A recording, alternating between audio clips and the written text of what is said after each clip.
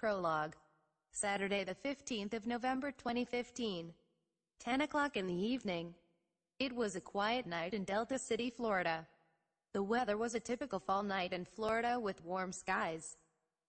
The local hockey team, the Delta City Lightning, had lost another game today. A crowd of fans met over at the Hilton Hotel for an after-game rally as was the tradition for the group. It was here that Drusilla Wade, 50, found herself all dressed up for a wild evening. Drusilla Wade. Classification, unknown. Occupation, unknown. Sex, female. Age 50, born the 7th of October 1966. Sign, Libra. Mass, 231 pounds. Height, 84 inches. Body type, hourglass. Chest, 44 inches. Waist, 32 inches. Hips, 44 inches. BMI, 23.1. IQ, 235. Hair, red. Eyes, blue. Skin, white. For weeks, she had searched him out. She had learned that he would be here tonight. Her informants had told her that Smith Torres, 42, would be here tonight. Human beings were animals. Like animals, they followed behaviors that were predictable. His habit on Saturday was to watch a hockey game at his personal suite at the arena. Then, he would get hotel suite at the Hilton and celebrate in style with a beautiful woman. Smith Torres, alias Black Smith. Occupation, crime boss. Sex, male. Age, 42 born the 30th of January 1973. Sign, Aquarius. Mass, 194. Height, 76. Neck, 16. Chest, 42. Waist, 34. BMI, 23.6. IQ, 115. Hair, brown. Eyes, brown. Skin, brown. Fill in stats. Mass, 194 pounds. Strength, 194 pounds. Pound to tons, 2000, 0.097. Divide by 582 pounds, 0.33. Divide by 100 pounds, 1.94. Divide by 1,010 pounds, 0.19. Speed walk 5 miles per hour. Speed run 10 miles per hour. Energy sleeping 1,960 kilocalories. Energy required 2,352 kilocalories. Energy walking 1,960 kilocalories. Energy required 2,450 kilocalories. She had worn a revealing dress that night. The fabric hugged her body tight. It displayed her voluptuous body in all of its galore. Though her age was 50, she still possessed the firm body of a woman in her late 20s. Her physique was a strong athletic type that was muscular when working out but it had a nice warm soft look when she was dressed for the evening. He had worn a tailored-made suit. It was a warm look that accentuated his athletic body. He was soft on the eyes when gazed upon. He having absorbed many beers and many glasses of gin were not of sound mind or sound body when his eyes met her innocent gaze.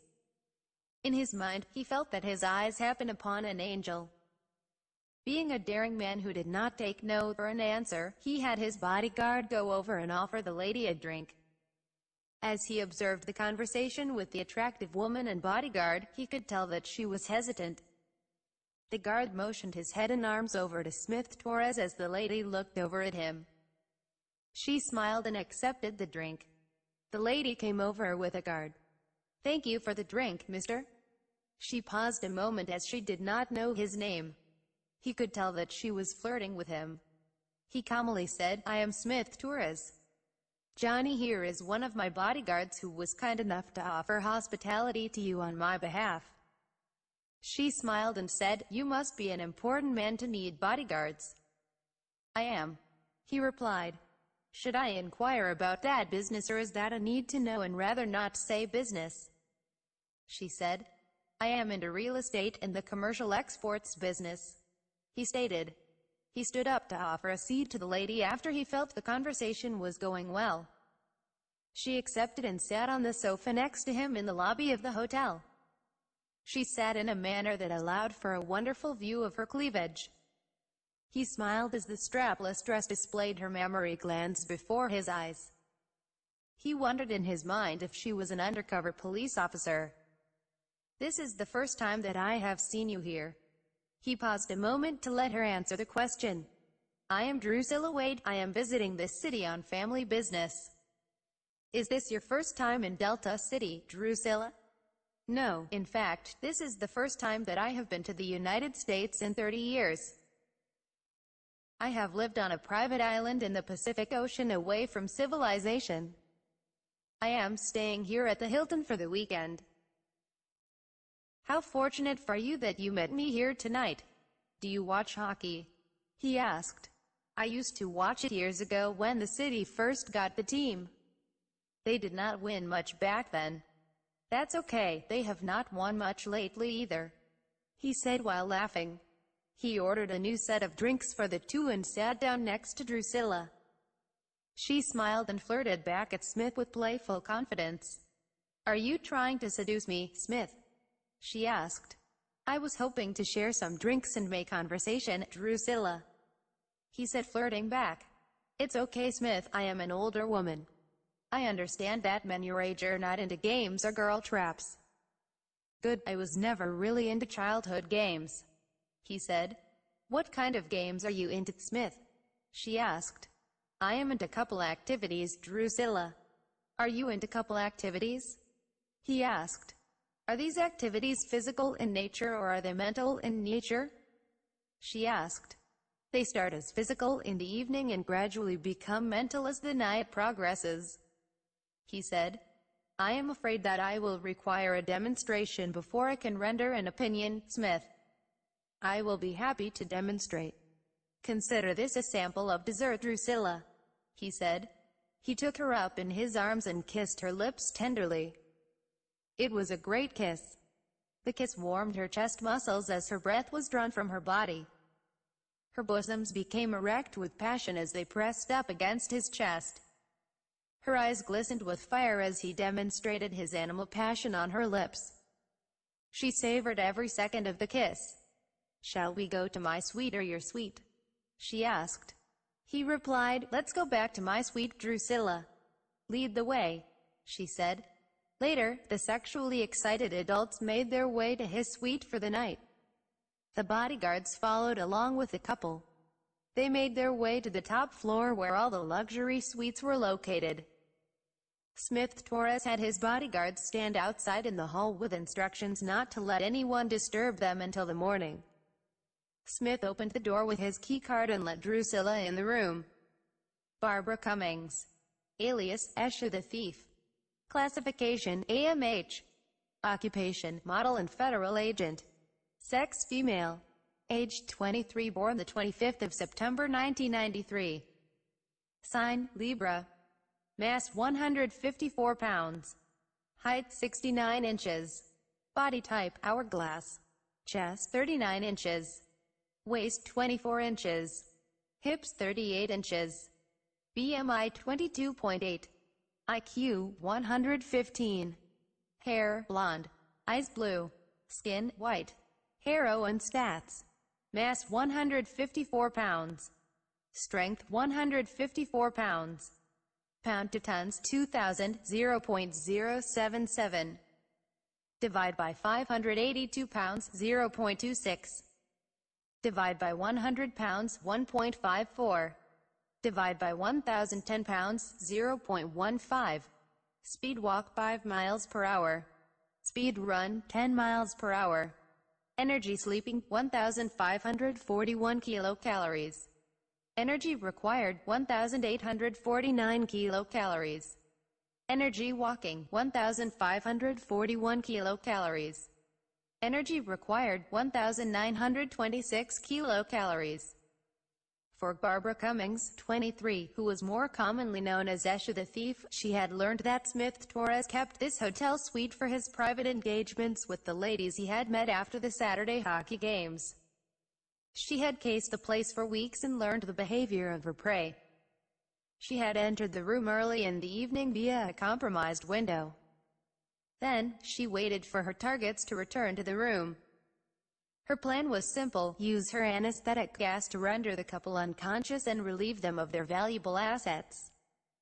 From studying her foe for weeks, she knew that Smith Torres carried large amounts of cash on him during the weekend. He tended to attract wealthy ladies that were staying at the Hilton Hotel for the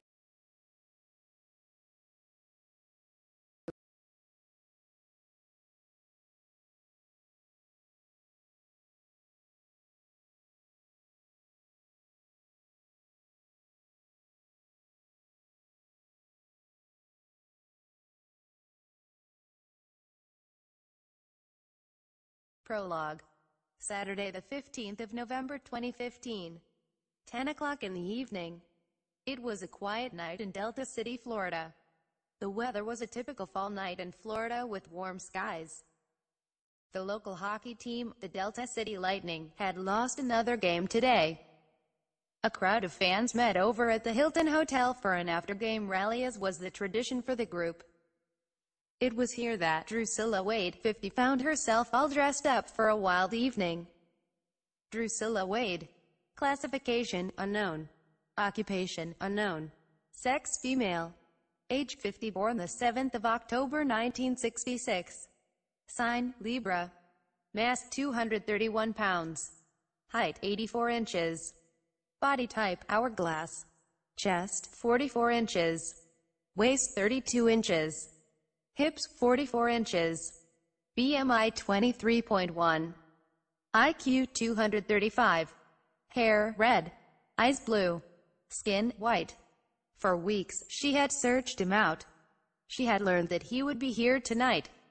Her informants had told her that Smith Torres 42 would be here tonight. Human beings were animals. Like animals, they followed behaviors that were predictable.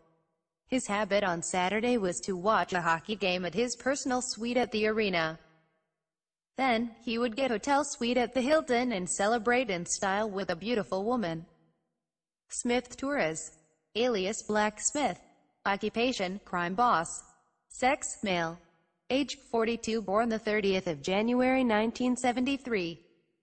Sign, Aquarius. Mass 194. Height 76. Neck, 16. Chest, 42. Waist, 34. BMI, 23.6. IQ, 115. Hair, brown.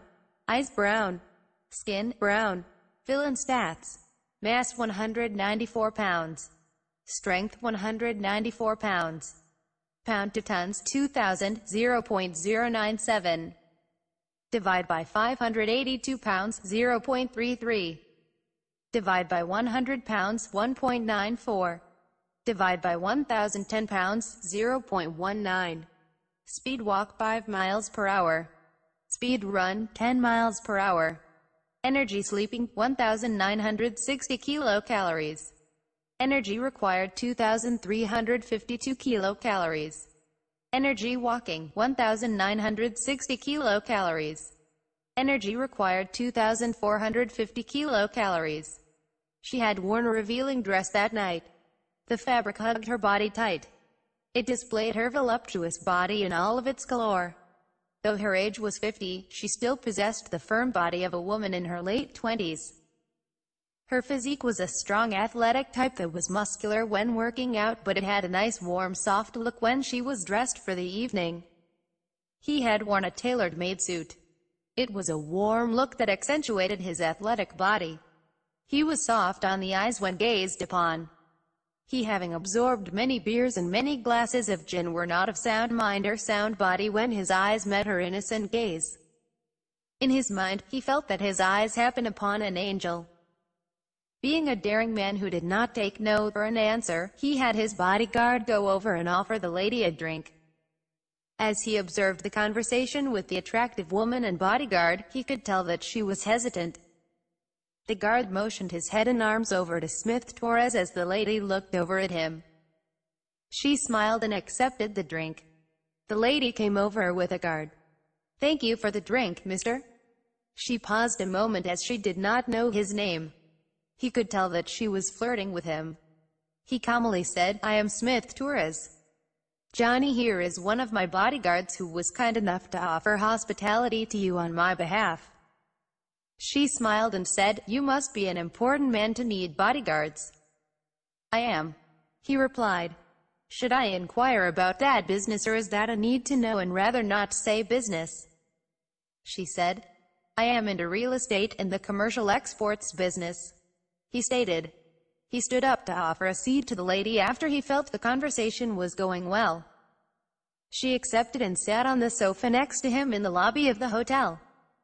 She sat in a manner that allowed for a wonderful view of her cleavage.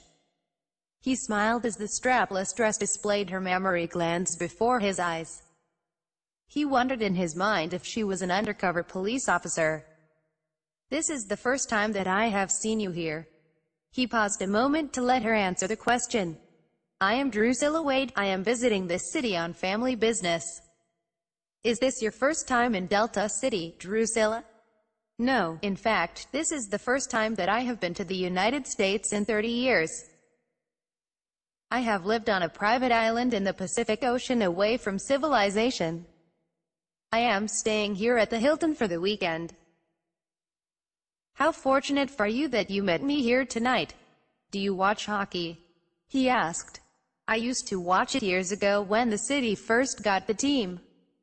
They did not win much back then. That's okay, they have not won much lately either. He said while laughing. He ordered a new set of drinks for the two and sat down next to Drusilla. She smiled and flirted back at Smith with playful confidence. Are you trying to seduce me, Smith? She asked. I was hoping to share some drinks and make conversation, Drusilla. He said flirting back. It's okay Smith, I am an older woman. I understand that men your age are not into games or girl traps. Good, I was never really into childhood games he said. What kind of games are you into, Smith? She asked. I am into couple activities, Drusilla. Are you into couple activities? He asked. Are these activities physical in nature or are they mental in nature? She asked. They start as physical in the evening and gradually become mental as the night progresses.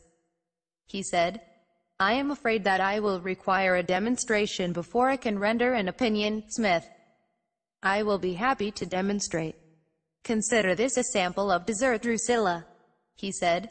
He took her up in his arms and kissed her lips tenderly. It was a great kiss. The kiss warmed her chest muscles as her breath was drawn from her body.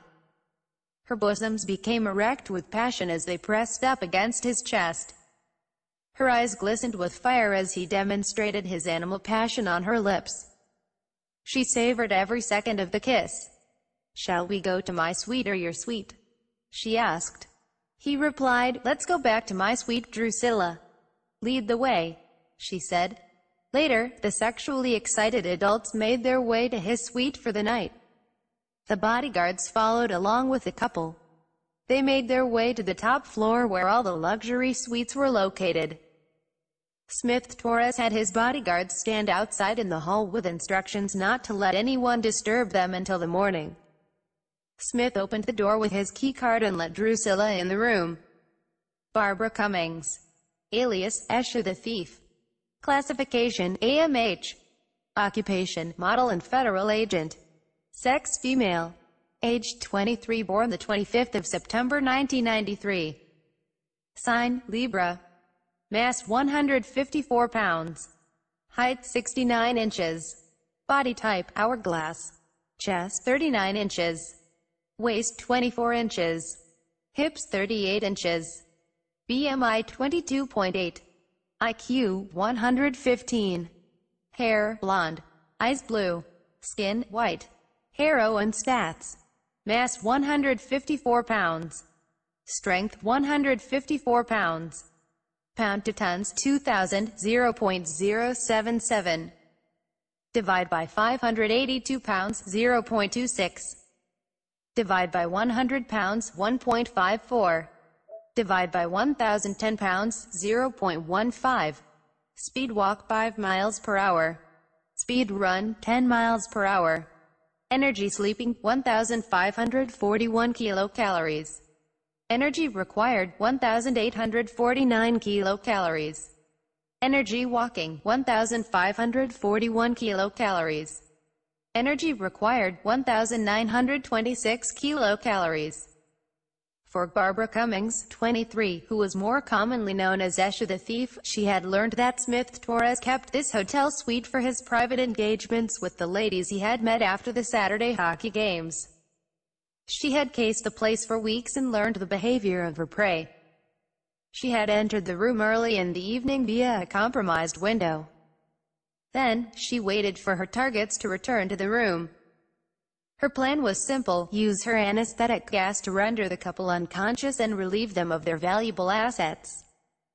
From studying her foe for weeks, she knew that Smith Torres carried large amounts of cash on him during the weekend. He tended to attract wealthy ladies that were staying at the Hilton Hotel for the weekend. Since neither couple was well acquainted with each other, they made for prime targets for the professional thief. She watched as the couple had entered the suite from a nearby closet. She would enjoy the sexual intercourse the man and woman were about to be involved in. 11 o'clock in the evening. The intercourse began slowly as the two adults entered the hotel suite. Smith Torres shut the door and set the deadbolt and safety latch on the door. The hotel had a docking station for an iPhone that Smith Torres took advantage of. He put on some slow jazz music to set the mood. Except for a light in the kitchen and a light by the bed, the room was warmly lit. Drusilla removed her dress and set it on a chair. Beneath the red dress was a red strapless bra and a red C-string thong. Smith Torres found this pleasing to his eyes. The sight of Drusilla's firm and tight athletic body aroused his sexual organ. He walked over to her to run his hands down the side of her body to feel the soft skin. The warm body along his hands aroused him more. She breathes in and out as he caressed her so tenderly. His initial methodology removed her bra and panties. The garments fell to the floor. Drusilla stood before Smith in all her galore. She kicked off her heel shoes. He continued his playful massage by caressing her breasts. Her bosoms firmed up to the arousing touch. He ran his fingers down to her labia majora of her sexual organ. Like a flower, the organ bloomed with his touch. Her labia minor laid there so beautiful, so ripe. Five minutes after 11 o'clock in the evening, Drusilla lowered her body. She could smell the masculine musk of his sexual organ as her nose passed near the object of her sexual desire. She unfastened the belt that denied her womanly pleasures. The masculine organ expanded the cloth of his tailored slacks. In a shorty moment, she lowered his pants to reveal his underpants. To her delight, he wore a pair of briefs. They were standard white male briefs. His sexual musk grew stronger as she lowered his pants. He kicked off his shoes and stepped out of the pants. She used her feet and long legs to slide the clothes out of the way. Then, Drusilla used her hands to pull the sides of the briefs with a slow downward motion. There before her as, his thickening hard cock fell forward. The organ extended out at a slight angle from his pelvis area. The organ was long, thick, and firm at 9 inches long. His male gonads fell out and were proportional. They were not tightly packed together nor unnaturally spaced far apart. The organ was well groomed. Drusilla was pleased with the serpent-like sexual organ and enjoyed watching the head swell up as she caressed it with her tongue. Initially, the head was dry and had a sticky texture to her touch. She used her right hand to grip the long shaft firmly. Her strong hands felt like a steel machine vice squeezing down on the shaft of his cock. He was taken back by her strength. Never before had any woman held his sexual organ with such a firm grip. The organ grew out longer with her grip. Ten minutes after 11 o'clock in the evening, Drusilla took the organ into her mouth. At first, she teased his mind by only stimulating the head with her warm lips and tongue. Her warm and mesmerizing stare looked up into his eyes and made him harder with each caress. She took him into her mouth and out of her mouth for ten minutes. She oscillated the behavior again and again with her hand in her mouth. He felt his muscles twitch as he tried to relax. He did not want to prematurely ejaculate. She continued her sexual behavior on his cock again and again. Shallow and deep she took the organ into her warm moist mouth and deep throat. He prayed in his mind please, don't let this bitch turn out to be a cop. 20 minutes after 11 o'clock in the evening. As Drusilla continued to lubricate his sexual organ, Smith Torres led her over to the bed while walking back to the bed. In a coordinated dance, the two made it over to the bed successfully. To his amazement, she never broke her stride or cadence. He laid back in the bed as she repositioned her body between his spread legs. Esha, who was watching the spectacle let out as her body became aroused from the sodomy. Unknown to the quiet thief observing the sexual intercourse from the shadows, Drusilla was aware that she was there. She could smell the scent of the female thief when they started the sex. Drusilla just continued on as if Asha did not exist.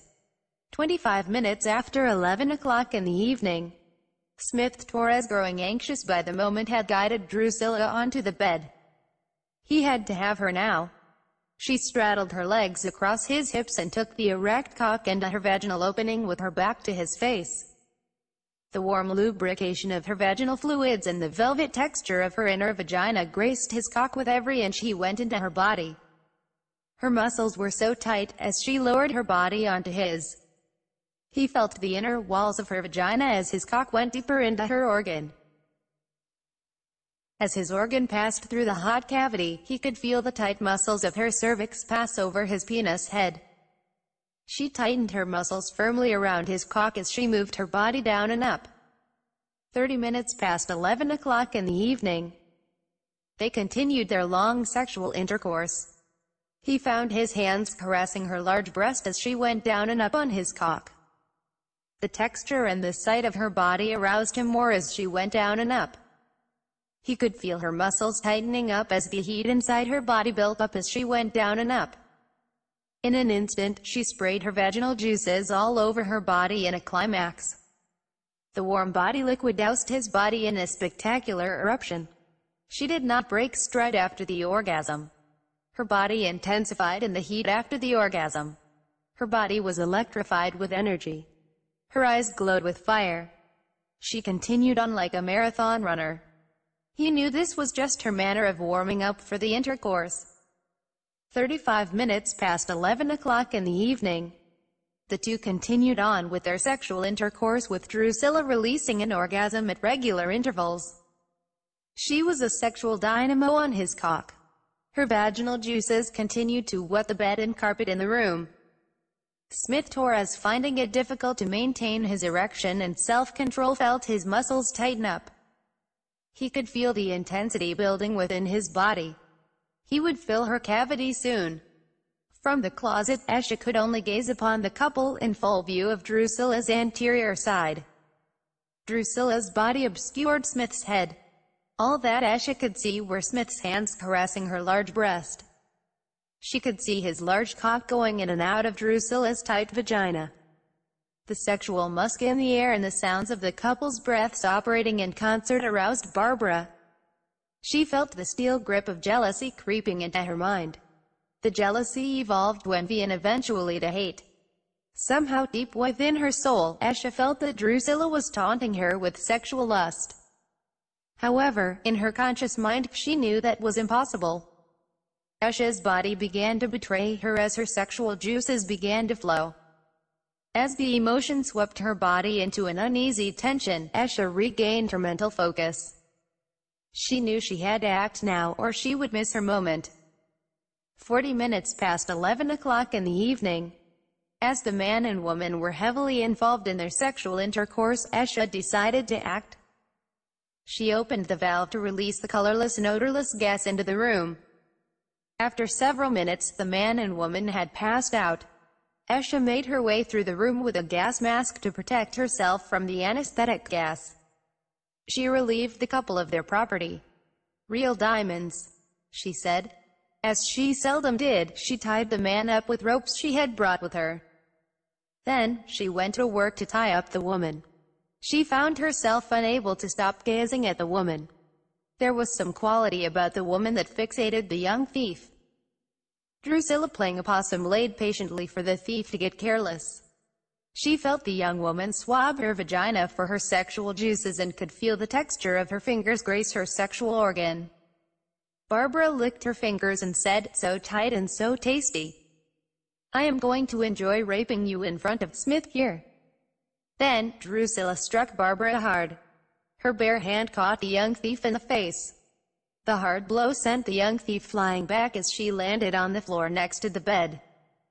The gas mask was separated from her face from the kinetic force of Drusilla's blow.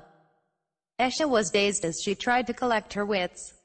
The side of her head felt like a freight train had hit her. She could feel the blood dripping through her broken nose. She could only watch as the tall Drusilla walked towards her. Barbara came to quickly realize that she was dealing with a master fighter. You picked the wrong woman to rob sweetheart, Drusilla said in a very calm and patient manner. She spoke with a Floridian southern accent that had an educated quality to it. She politely lowered her foot to Barbara's head. Esha rolled out of the way as Drusilla brought her foot down. She quickly made her way to her bottle of chloroform that laid nearby on the carpeted floor and tried to soak the rag in her hand. However, her labors were in vain as Drusilla walked over and lifted her lithe body over her head and tossed her aside like a rag doll onto a nearby dresser. The bottle of anesthesia fell about the room and the liquid fell all over the bed. Esha's body was in agony as it was tossed around by Drusilla. Drusilla's attack was precise and without mercy. Barbara could only yell in agony as her body impacted violently onto the furniture. Barbara tried to get her body into position to gain leverage on Drusilla, but the tall nude redhead was having none of that tonight. Drusilla used her open hand to bitch slap Barbara many times. Blow after blow fell upon Barbara's face. She could feel her muscles tightening with bruises. Her mind was numb from the shock. Barbara tried to use her martial arts training to remove Drusilla's hands from her shoulders. This proved useless and only resulted in her being hurled through the air and landing on her back. Smith Torres regained his consciousness but was unable to act as his arms and legs were hog-tied together restricting his movement. He could only watch helplessly as Drusilla fought with the female thief. You should have been a model, darling. This line of work does not suit you, Drusilla said. Drusilla picked up the brown bottle to analyze the contents. Chloroform? A good plan and I give you points for the anesthesia gas. Unfortunately, you picked the one woman who is not affected by those things. I am afraid that I do not understand the black bikini outfit. I suppose that you use it to entice your victims. I do like your originality. Drusilla said. Drusilla picked up the dazed Barbara. She threw her about the room several times. She threw Barbara around to wear her body out, but not to kill her. She wanted to teach the thief a lesson. Drusilla seemed to grow and expand her body mass. Barbara was not sure if what she was witnessing. Drusilla walked over and picked the lithe body of Barbara Cummings and sat her body on her right shoulder. Barbara's buttocks were facing away from Drusilla with her waist draped over Drusilla's shoulder like a folded bath towel. Drusilla picked up the brown bottle of chloroform and stuffed it into Barbara's rectum. Barbara could only let out a faint whimper as the bottle entered her body. The bottle was left completely submerged into the cavity. I trust that you will be able to hold on to that. She paused for a moment to think. You know, I have no idea what your name is, honey, but I do love the shoes, Drusilla said. In a desperate attempt to escape from Drusilla's hold, Barbara produced a hidden knife from her formal black gloves and plunged the knife into the back of Drusilla's leg. The blade snapped when it made contact with Drusilla's thigh. Drusilla felt something hit her leg, but it did not break her stride. Drusilla laughed wickedly at Barbara. You are an Aphrodite, Barbara said with a weak voice fighting to get oxygen to her lungs before she passed out from exhaustion. No one mourns for the wicked, darling. I used to be an Aphrodite, Drusilla said. Drusilla lifted the lithe body of Esha over her head and shoulders pressing her like an empty barbell. The posterior side of her body was facing the ceiling. Esha, still conscious of her situation, lay helplessly in the air. Drusilla used her strength to force Esha to orgasm really hard while perched high above her shoulders. Esha moaned as her sexual juices sprayed the carpet in the room. I believe that is what you had intended for me, whoever you are. Your musk has a wonderful sexual scent. I certainly hope that you have life insurance, dear. I am afraid this is going to hurt like a bitch, honey. But death will bring you peace. Unfortunately, it only brought me agony. Drusilla threw the helpless body of Barbara Cummings through the glass window of the hotel suite. The glass shattered into many pieces. Barbara screamed her last breath as she rationalized her impending doom. Her last voice of consciousness was out of time. Her lithe body tumbled through the air as if shattered on the pavement below the 40 stories high-rise hotel in downtown Delta City. Fifty minutes past 11 o'clock in the evening. Drusilla untied Smith Torres and handed Smith his clothes. He thanked her for her service while putting his clothes back on and said, Thank you, Drusilla. I should pay you to be my bodyguard, Drusilla. You know, to be honest, I suspected that you may be one of those superheroine types or maybe an undercover cop when I met you earlier. Most cops do not give great sex or head like you do, and those superheroines are great but not as accommodating in bed. But after your sexual performance tonight and watching you handle that thief by throwing her out of the window, I think that you are something else. Drusilla smiled while putting on her bra and panties. Did you know that woman? He continued to put his clothes back on. Yes, she is some fashion model who moonlights as a thief. I am not sure of her name, but I think her name is Esha something. He said. I am afraid that we left a lot of evidence for the police. This is the first time I have been mugged in a hotel room. Perhaps you should change your room sometimes. She clearly knew you would be here tonight, Drusilla said. That's fine, by the time they figure out what's going on, we'll be long gone. For the night we can crash at one of my places to lie low. He said. Does this mean our couple activities are done for the night? She asked. Consider this the halftime before the next two quarters. He replied. I like your style, Smith, she said. The two left the building before the police arrived at the hotel. They made their way to one of his safe houses. Smith Torres had the guards take care of their records at the hotel lobby before the police arrived in time to seize those records and video footage. Asterisk asterisk asterisk. The agency. Field Operation Report. Classification Top Secret Psi. Director X. Codename Director X. Classification Unknown. Occupation Unknown. Sex Unknown. Age Unknown. Sign Unknown. Mass Unknown. Height unknown. Body type unknown. Chest unknown. Waist unknown. Hips unknown. Hair unknown. Eye unknown. BMI unknown. IQ unknown. Hair unknown. Eyes unknown. Skin unknown. Superheroine stats. Mass unknown. Strength unknown. Pound to tons 2000 unknown. Divide by 582 pounds unknown. Divide by 100 pounds, unknown. Divide by 1010 pounds, unknown. Speed walk, unknown. Speed run, unknown. Energy sleeping, unknown. Energy required, unknown. Energy walking, unknown. Energy required, unknown. Monday the 1st of January 2016. The following report is a detailed account of what occurred between the dates the 15th of November 2015 and the 31st of December 2015. As the director of the agency, it is my duty to give a detailed written report of the transactions that have transpired in the official record for review by the appropriate government oversight agencies. History section in the late 1970s, the U.S. government recognized the need to create an agency to combat the growing problem of organized crime in the world. Organized crime was no longer the small clusters of family-operated syndicates. Today's organized crime was a collection of individuals, groups, and international business. To combat this threat to the public municipalities and to act as an aid to local and state police agencies, the agency was created. The agency's mission is to recruit female operatives who could work in and around local municipalities. These female operatives are a special breed of anatomically modern human or AMH. These female agents are officially classified as Aphrodite gene types or AGT.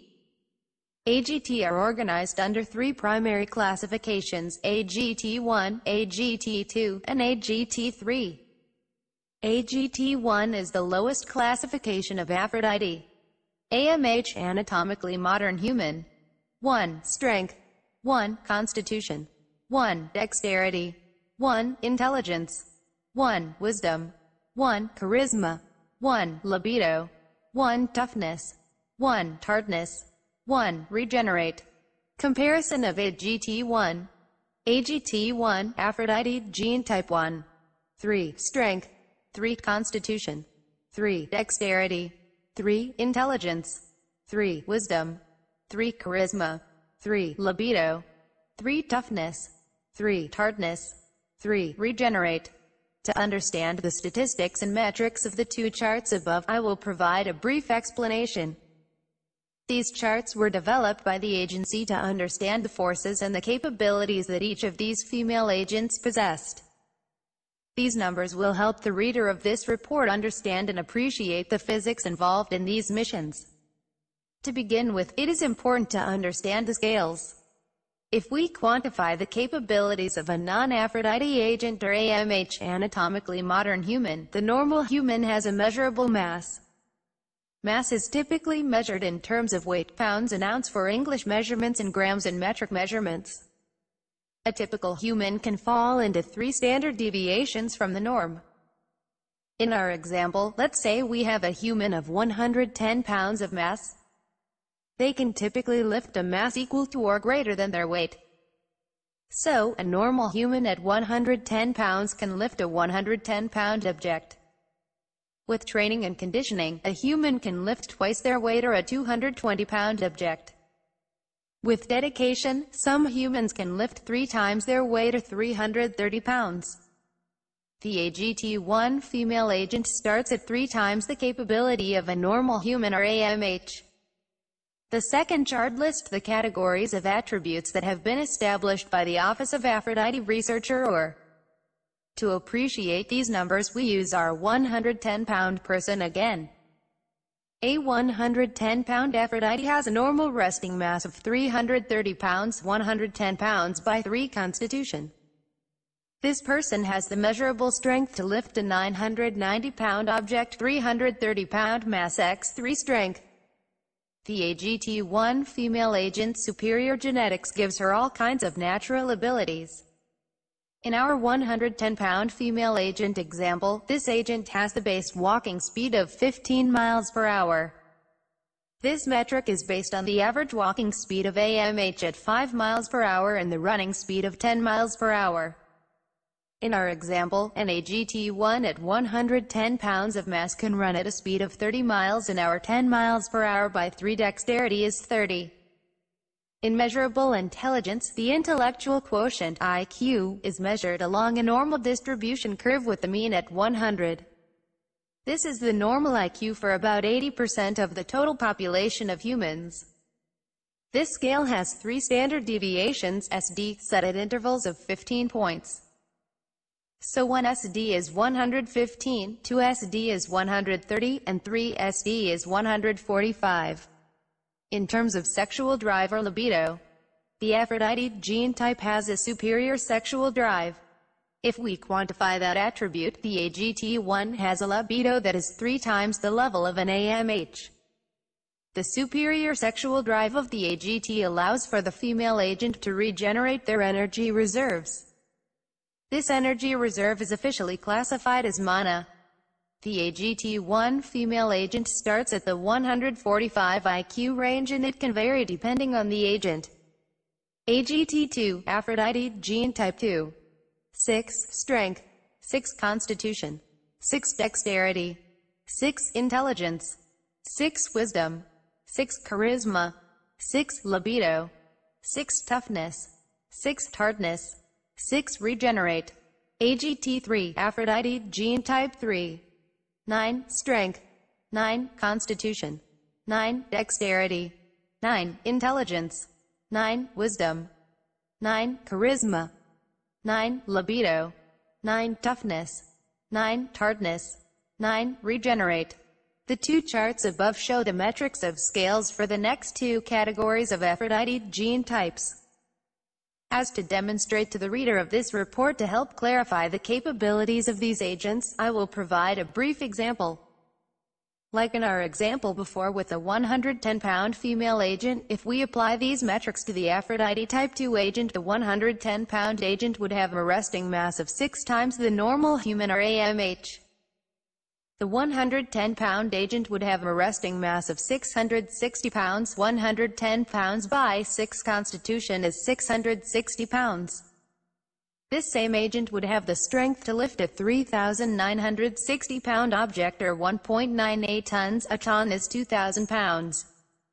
In her normal state, the AGT2 female is an AGT1 while in her non-powered state. Keep in mind that the AGT2 needs a catalyst to tap into her natural abilities. When in close proximity to a distinctly tuned source of milkinite the female will transform into her AGT2 form. Because this report centers around Agent Brenda Wade codenamed Miss Americana, I will use her stats. Agent Brenda Wade measurements are as follows. Height 61 inches, 6 feet 1 inch. Weight 175 pounds. Age 31 years born the 10th of December 1984. Sex female. Body type hourglass. Chest 39 inches. Waist 25 inches. Hips 39 inches. BMI 23.2. IQ 145 in AGT1 form and 190 in AGT2 form. A color, blue. Hair color, brown. Agent Wade's base capabilities while in her AGT1 former. Mass 525 pounds. Strength 1,575 pounds pounds to ton, 0.7875 tons. Divide by 582 pounds, 2.71. Divide by 100 pounds, 15.75. Divide by 1,010 pounds, 1.56. Speed walk 15 miles per hour. Speed run 30 miles per hour. Energy sleeping 3,135 kilocalories. Energy required 3,762 kilocalories. Energy wake 3,135 kilocalories. Energy required 3,919 kilocalories. When Brenda Wade transforms into her AGT to form her capabilities are Mass 3,150 pounds. Strength 18,900 pounds. Pounds to ton 9.45 tons. Divide by 582, 32.47. Divide by 100,000, 189.00. Divide by 1010, 18.71. Speed walk 30 miles per hour. Speed run 60 miles per hour. Energy sleeping 14,546 kilocalories. Energy required 17,455 kilocalories. Energy walking, 14,546 kilocalories. Energy required, 18,183 kilocalories. Brenda Wade's statistics and the others presented in this report is to give the reviewer a sense of scale. The metrics divide by 582 is based on the strongest human in the world statistics that set the record overhead press at 582 pounds. Divide by 100 is the average lift of 100 pounds. Divide by 1010 is based on the record set in deadlift at 1,010 pounds. In the examples above, Brenda Wade in her AGT1 form can outlift the world record holder by 2.71 times or she can outlift him by 993 pounds. Likewise, the current record holder Usain Bolt can run at 28 miles per hour. Brenda in her non-powered state would outrun him by 2 miles per hour. Aphrodite gene types have the ability to transform their body mass. If they did not have this ability, then they would have to have specially designed shoes or would crush everything under their tremendous weight. Brenda Wade in our example above has a resting constitution 3, mass of 525 pounds, AGT1, and powered constitution 6 of 3,150 pounds, AGT2. It is interesting to point out that Brenda Wade's Hardness 6 and Toughness 6, a variant of the Mohs scale for hardness combined with her Strength 6 of 18,900 pounds as an AGT2 can absorb the energy of a 50 caliber BMG which has a force of 13,000 foot-pounds. In her non-powered form, she can resist small caliber rounds. These women require a specialized source of food and nutrition. Their superior metabolism requires a demanding energy need. The agency has come up with two metrics based on the basal expenditure efficiency model RB. In her normal resting state, Brenda Wade's AGT1 body requires 3,762 kilocalories to function in her normal daily nutritional needs and can supply its energy in the 3,135 kilocalorie range. At her wake state or walking state, her body requires 3,919 kilocalories to function and can supply its energy in the 3,135 kilocalories range. When Brenda Wade transforms into her AGT2 body, at rest, it requires 17,455 kilocalories to operate and can supply 14,546 kilocalories and at weight, it requires 18,183 kilocalories to operate and can supply 14,546 kilocalories. It is easy to see that the Aphrodite gene type 2 possesses superior genetic traits and superior energy supplies. The female types are a rare breed of humans. These females typically attended schools designed for gifted learning students. Prior to the 1960s, many of these females occupied themselves as wives to prominent men that typically were wealthy businessmen, congressmen, and heads of states. Historically, men sought out the Aphrodite female for their superior genetic traits. Although, the knowledge of the Aphrodite gene was widely unknown to the world's general population. Prior to the 1940s, these Aphrodite gene types lived in a secret society. In the 1940s, the War Department of the United States began to employ some female agents with Aphrodite genes to obtain the secrets of our adversaries. After the war, and through the 1950s, these female agents were sparingly used during the Cold War to infiltrate the Soviet Union. In the 1960s, after the fall of Cuba to the tyrannical forces of the Fidel Castro revolution, organized crime families became the target of the federal government. These crime organizations began a long process of reinventing or masking themselves into legitimate corporations around the world. Law enforcement agencies and military forces were not equipped to deal with this growing threat. The agency was formed in the 1980s to deal with this problem. The female agents were given the authority to investigate crime throughout the United States and throughout the world with foreign partners. To distinguish the female agents from the typical law enforcement agents in local municipalities, these agents begin to wear garments designed to maximize their superior physique. Many agents were authorized to wear masks to protect their identities. In the larger public these agents have been given the status of superheroine. The adaptation of the superheroine identity has proven to be a reliable mask of the agency's existence to the larger public. For most Americans the existence of the agency is unknown. As with the formation of the Department of Homeland Security DHS, the agency has been given a new mission to combat worldwide terrorism. This report centers around the incident at Wade Towers. Here is the report. Report section. Asterisk asterisk asterisk. It's 3 a.m. Eastern Standard Time. Sunday the 15th of November 2015. 3 o'clock in the morning. Angela Greer, 34, was awakened by her phone, wiping the sleep from her as she understood the meaning behind the 3 o'clock in the morning phone call. Angela Greer, codename Lady Midnight, classification AGT1, occupation Assistant District Attorney and Federal Agent, sex female, age 34 born the 4th of June 1986, sign Cancer, mass 160 pounds. Height 69 inches. Body type hourglass. Chest 38 inches. Waist 24 inches. Hips 38 inches. Hair brown. Eye brown. BMI 23.7. IQ 130. Hair, brown. Eyes, brown. Skin, brown. Superheroine stats. Mass 480 pounds.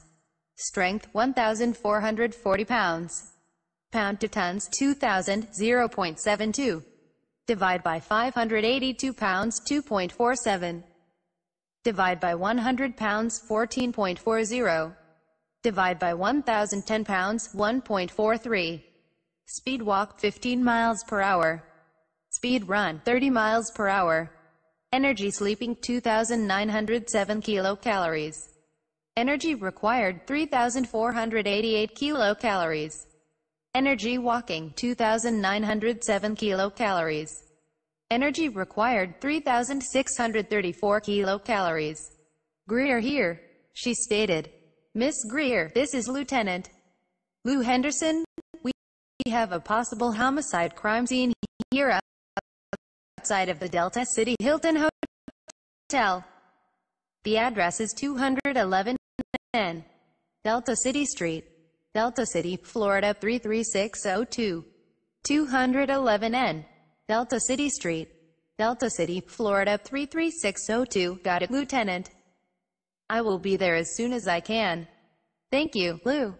After she shut the phone off, Angela got up out of her warm bed and walked over to the shower.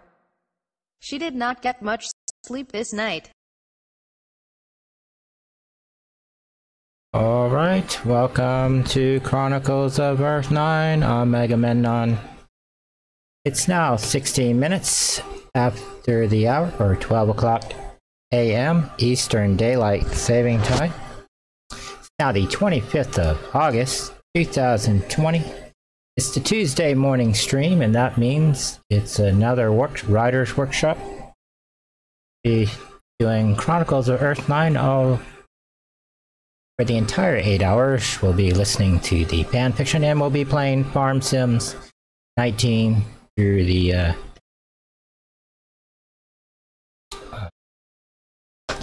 stream. Anyway, uh, we didn't do a rider stream last week, so uh, mainly because I had to get my driver license renewed, which I did manage to get it renewed, so I'm good to go for another 20 years or so. Three few years, you have to give the state of Florida fifty dollars. And uh, so. anyway, um, lots to do tonight. Uh, what was currently playing there? That was uh, one of the stories that we released to our Patreon people. Um, it's uh, it's Americana story, and uh, they're based on a. a I think it's a comic strip, but it's really a parody of a comic strip, and it's done by a site called Mr. X. But he changed his name to uh, it uh, Danger something, Danger Zone something. Anyway, and I know it's Mr. X. Um, well, for a long time, it's uh, he uses basically Poser, which is a 3D. It was not an animated bench, although it does have animated tools in it. It's not really good for that. Where if you, you design your character 3D models, and he basically has one model and he dresses that to the different stories and he presents the character in different poses and that creates snapshots, which creates the comic series that he does. And he normally releases like four or five panels at a time. And then, for the most part, on his site, uh, people write in their own stories. And I guess he uses those as ideas for his own stories. Now, what we did, because we're doing Chronicles of Earth 9, now I wrote this in book two, although they're not done, um, parallel. And I had written them in between the first book and second book for our Wonder Woman series. And it was an opportunity to. Uh, at the time when I started working on book one and book two, I really wanted to make it in an epistolary style. But uh, some of my concerns were that uh, were we limiting ourselves by making everything in epistolary style. Although I, I find the format very intuitive, uh, it has a lot of limitations in that uh, having to present the story from everyone's different points of view. Um, there's a huge logistics behind that, and uh, having to constantly explain why these people are journaling. Um, for some of the characters, it's not hard to do because it would seem like a natural thing. Where I don't think that most master criminals are going to go sit down and write out a journal of their everyday habits because most criminals don't want any record of what they're doing, right? so, because if that journal gets hold of a prosecutor, right, they could use that as evidence against him in a court of law. So, um, what we had aimed to do with this story was to showcase our writing talents, but do it in a way that sort of was a hybrid of take the best parts of what an epistolary style story is, but make it more of a traditional style. And the chapter developments here are the each chapter in itself is sort of an idea dealing with one particular event. It's and it's strung along through a whole series of events, which tells this story Brenda Wade. Now, the driving force in the first book is Drusilla Wade, who we learn about. That's where the story we drop into her world. But the main character of the serial is uh, Brenda Wade, who is Miss Americana. Now, in our version, being a Chronicle Earth 9 story, since I've been working on books three, four, and five, and hence book 20, and then the Sophie Fatal stuff, uh, I got a lot of chance to really understand the dynamics of the world, even going back to the screenplay that we were working on. Uh, which is hence the starting point of all the stories. Um, I felt that it was a good breakaway from the epistolary style, and I felt that the novels that were 144,000 word, 12 chapters, and so forth, I didn't really dedicate to that until I started working on book three, and uh, and then I kind of solidified, well, this is the way to go. This is what we're going to do, and then with Hippolyta's character that we introduced in book two, I wanted to create short stories based on that character from the time that she traveled in the United States from the end of the American Revolution till uh, the beginning of the 20th century. She traveled around the country and mainly in the uh, unsettled areas, and she worked as an anthropologist and a medical doctor. And uh, the idea with that story is you would start from Charleston, uh, South Carolina, where she entered the country from, and uh, her group settled in Charleston at the founding of the country, a small village. Then, over the years, 400 years later, um, as they break out into the wilderness, um, you follow that journey. So, but the way that all of the short stories were, they were only going to be six chapter long stories. Same 12,000 word chapters, but they would only be half the length a novel would be, hence they're short stories. And then part of the serial that hasn't been it's been talked about in this area, but we haven't seen it as an audience. Is uh, uh when uh, or Diana, Wonder Woman, she goes out on these nightly charges, and uh, she encounters these uh, men, some women, and uh, they're usually sexual predators, and she deals with them in an indirect way, and uh, I didn't know whether I wanted to keep them as part of the novels or have a totally separate book on that. And I wanted them to be more short stories where they're only like a couple pages long, short story, no more than 12,000 words. And so it's basically spans one evening of the character and then would be just a string of short stories which tell this, this entire story. And that's easy to do because stories are told from uh, Diana's point of view, and she's the one narrating the stories. So that would be a fairly easy thing to do. That way, we could put out, produce more stories while we're working, because the novels themselves take a long time to produce, both in the traditional novel style and then as an audio book, and then eventually the video layer on top of that. And so, um, short stories were a way to get more stories out in a shorter time duration. That way, the people paying, uh, Patreon people, they sort of get their three dollars worth. I think. I think the pace that we're working at now is, I think people are getting their three dollars worth, but I kind of want to give it more. so, um, now that we got our first Patreon donate donators, um, I really want to go back and work on these books. And much of tonight's work is going to be on that story, but I wanted to actually play the story. Now we played the short story to the uh, pre-show, but I'm going to restart the stories again, and then we'll listen to them and then uh, we'll get into the actual writing. So you get a sense of what the stories are. I'll go over the stories. And then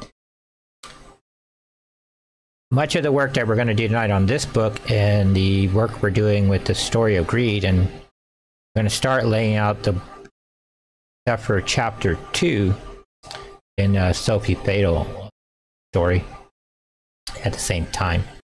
And part of the work that we're going to do tonight won't be necessarily writing, but we'll be aligning our uh, the the spreadsheet part of what we're doing, scales, and uh, so that when I had written this story, I didn't really have a I hadn't casted the people yet, so the numbers in that you're seeing are based on if you read uh, Mr. X's uh, stories, those are his numbers that he's using, which are based on the puppet. but since I've casted real people into it and put it in a real place, um, now you get a sense of scale. And one of the things that we're going to do tonight is bring the body measurements into alignment with the actors we casted for character. And uh, I casted this story based on their astrological sign. So I basically, I'm really into astrology on a technical level. And um, um, when me, when I encounter people who are like Aries, Sagittarius, Libra, I because I've been studying it for a very long time, I notice like physical traits that certain characters have, and I want that to come out in the book.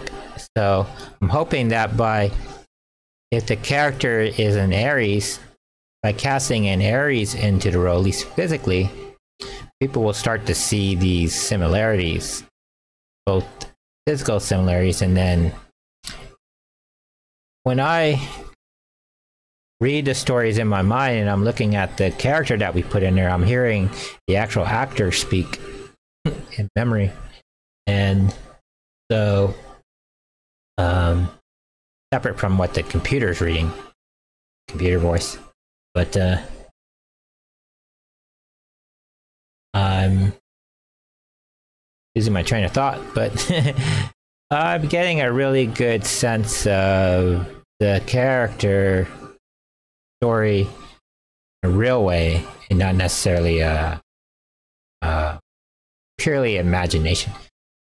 when you're writing stories, especially fiction, um, I would say early on when people are writing fiction, they don't have a lot of tools at their disposal and they're probably very poor. And um, they're writing on the side. Um, most of fictional work is comes straight out of someone's head. People who sort of write by the seat of their pants. Whatever's in their head, that's what they're writing. That's fine. But me, because I'm a plotter, I have to plot everything out before I even start writing dialogue. Um, I feel that grounding the story in with real people and places, a space-time continuum, um, it allows you as the writer to kind of experience the character in a real way and not necessarily in an imaginary way.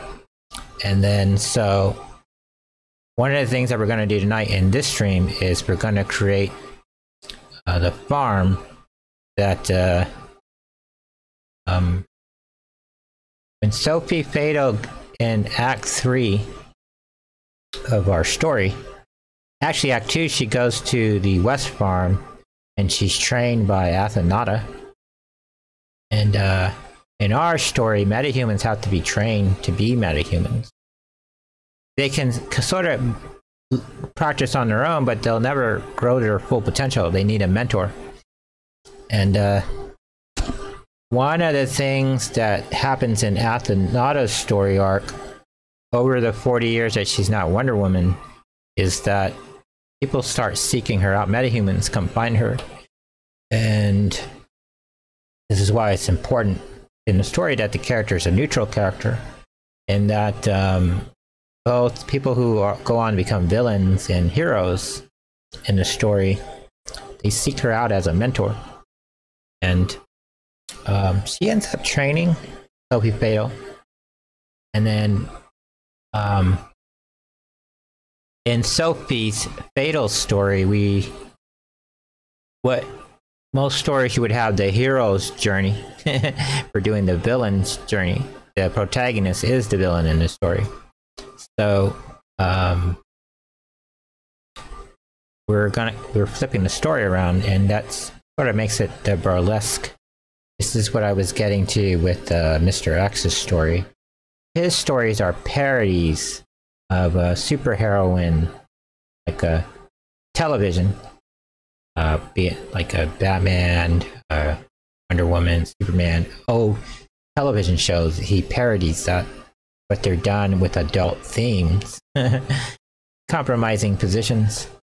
And then so in our stories, we we're not a parody, we're a burlesque parody. parody is part of our burlesque, but what he parodies in his stories are um,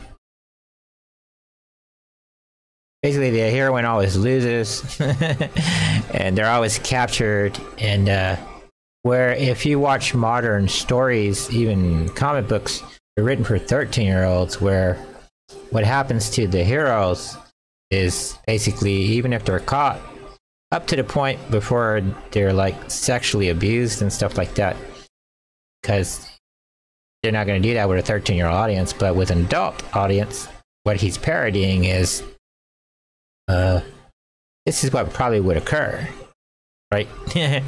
but he does it more in a humorous way and not a vicious way. And for our stories, because they're more dramatic, um, and being a drama, we balance the story out between uh, comedy and tragedy. So when we're writing humor, it's in more of a traditional comedy sense. What that means is if the protagonist in the story, the main character, story arc is a comedy, meaning they're gonna go down in the story, come up a little, go down in a story and at the end end up in a higher high place than where they started, then the antagonist story is the opposite. They're to be a tragedy, right? So um, they're to start at a place, um, go high in the story, come down a little, go up, and then end in a low place. And so, whatever the protagonist does in the story sort of determines what the antagonist does in the story because their their stories are confounding each. Now, in our story, whether it's a hero story or villain story, neutral story, um, is we cast villains as the protagonist. We cast heroes as the antagonist. And a lot of people, when they think of stories, especially in modern time, contemporary times, um, usually the hero is the protagonist, which there's a reason why they call it a protagonist, not a hero. protagonist is just a person who's given a task and they have to fulfill something. And they grow in the story or fail to grow in the story. And the antagonist is the one who confounds, meaning if the protagonist story is going in this direction, the antagonist must story must be perpendicular, 90 degrees out of phase with what opposes protagonist. So that's where we're going with the story. I'm going to back up a minute. So we're not confusing people. um, with uh, Miss Americana stories, where we differ from X's story, he's strictly parody, where Burlesque, we're flipping around traditional mainstream media sort of storytelling. Um, presenting that to deal with uh, social issues. Population, basically a philosophical story. Philosophy book, but told in an entertaining narrative. And the narrative form that we're trying to uh, encapsulate the stories in, or the format that they're undertaking, is uh, epistolary style. And then uh, this is known as more as an omni potent style, omnipotent style. Uh, basically, you have the goddess Alethea. She's the narrator in the story she's telling the story. So she's the goddess looking down. And one of the reasons why we're using the gods in our story and why it was important to use it in the rewrite of a story of greed is it can account for the characters that aren't keeping journals. really, it's the gods in the story that are chronicling everybody's lives. Um, in the story of greed, it just turns out that uh, um, the protagonist in the story, the antagonist, happens to be an immortal who's a, a chronologer, someone who records the chronicles, and who worked for Athena. So, and this is where God El in the story why he comes to Athena in the story. Because he can't play favoritism. He has to have free will on both uh, Paula von Gunther's story and Athenata's story. However, Paula von Gunther isn't fully appreciative of the forces that are against her. And this is what leads to her tragedy in the story. her character flaw story. Now, in book two of our Wonder Woman series is called Cathexis, and um, Cathexis is basically people who cling to ideas on a psychological level. It's called a cathexis. If you have a some type of emotional or mental reaction to a dramatic story, that's called a catharsis moment. And um, a cathexis is some type of psychological bond to things. With cathexis, it breaks down people into two type of people, uh, neurological conditions. You have people who have what I call uh, character disorders, or people who are neurotic. um, people who have character disorders, when they're confronted with the distal environment problems, they blame the world. And when you have people who are neurotic type people, neurosis type people, um, they blame themselves, they turn inward. And they have when they're confounded with the world, they turn inward. And the goal, compassionate goal, is to find balance. Because everybody on some level is born with character bias. and you want to grow and have a neurotic understanding of the world because through the um, neuroticism, um, you learn compassion, you learn to empathize with other people and not only yourself. And you have to find balance. And what our stories are about is finding balance. And not every character is going to do that. And it's going to sometimes take more than one book for that to occur. That's why it's a serial. but um, approaching 1242, um, sort of get on with it.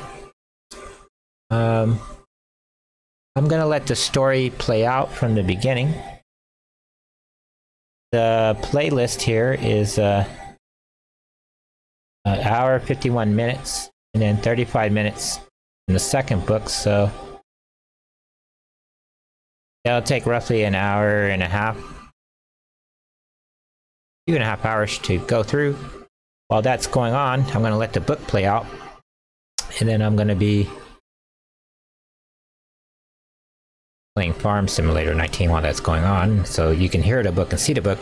Those of you watching this on Patreon or watching this on YouTube on a later date, you'll be able to follow along the writing. And what we're doing right now is we're reviewing the material, and then we're gonna break it apart and put a put it in the form it needs to be, correct it.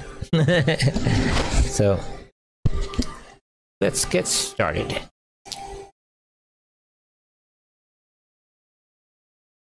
I'm gonna put up the uh,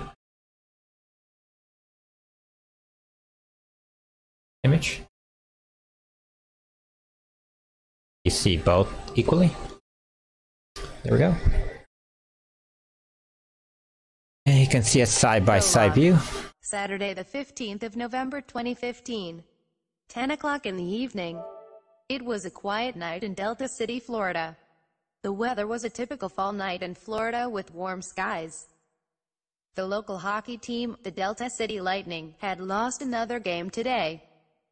A crowd of fans met over at the Hilton Hotel for an after-game rally as was the tradition for the group. It was here that Drusilla Wade, 50, found herself all dressed up for a wild evening. Drusilla Wade. Classification I'm gonna pause this while uh, Farm Sim starts up. The music's gonna get loud, so we'll just restart it.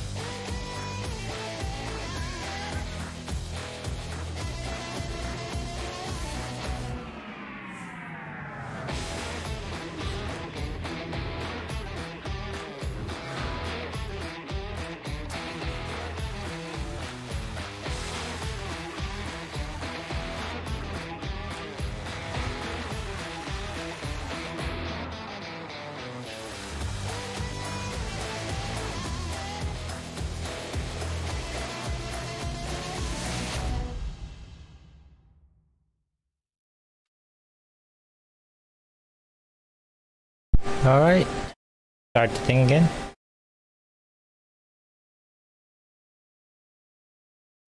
Here we go.